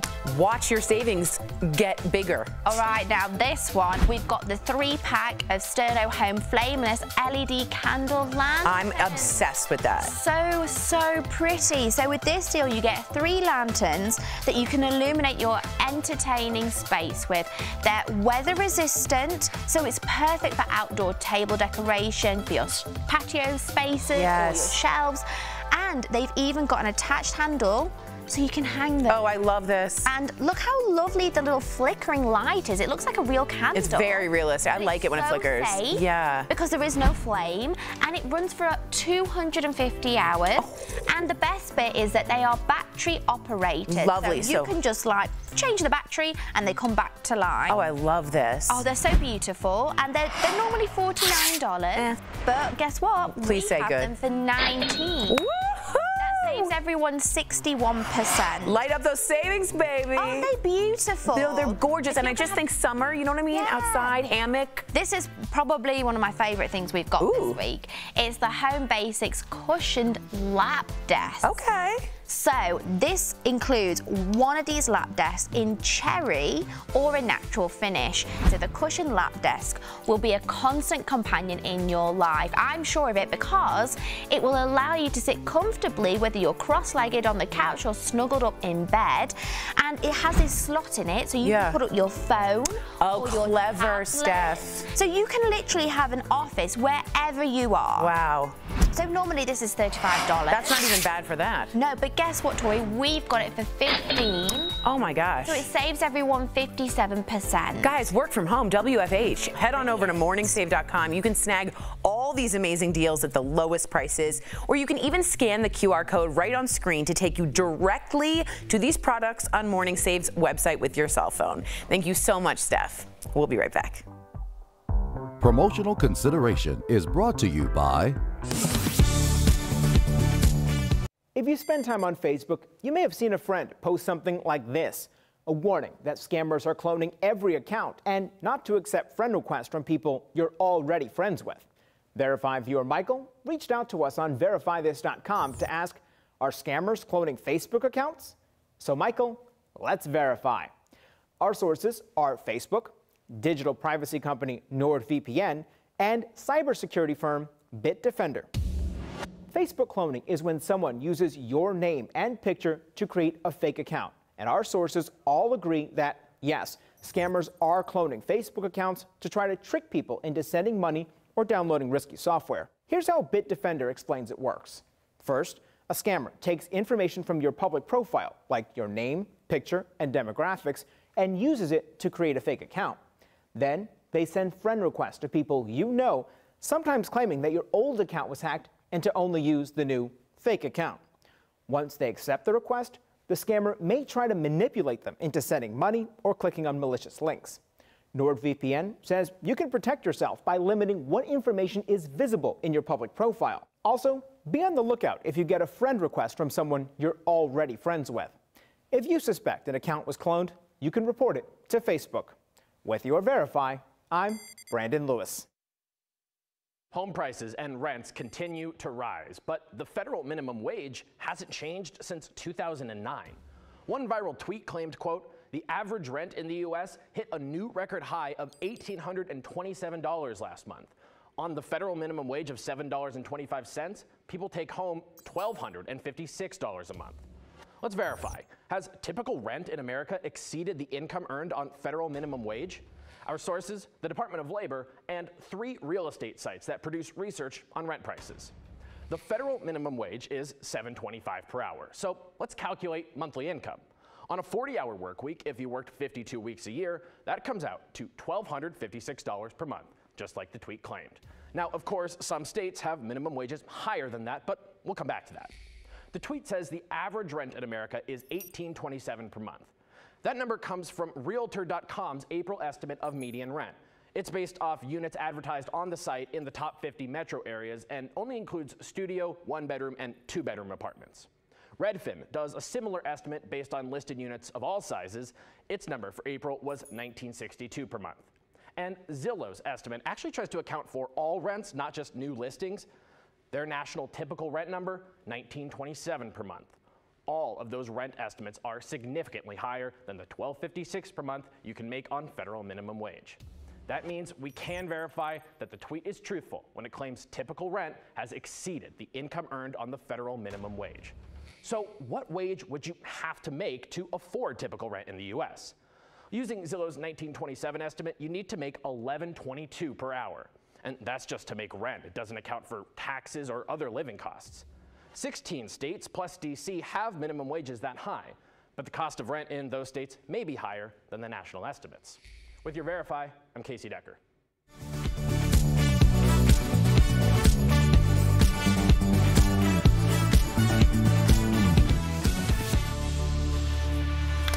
Welcome back. Lots of comments. What do we got, Tori? This is about the Squid Game situation. Reality show Jeunesse, which sounds like a shampoo brand. I love it. People already risk their lives on shows like Survivor and Naked and Afraid. They get injured or go starving just for like a cra- cash prize and a little fame. Yeah. But, but if you were like, death is a, I don't know. If you $5 million is dangling in front of your face, stakes are high. Yeah. That's right. cute clap.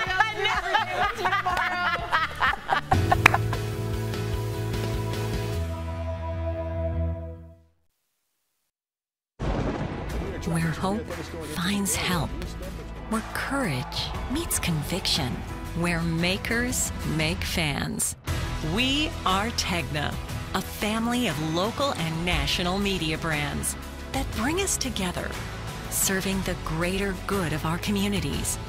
Where national know how backs local business. Be in good company with Tegna.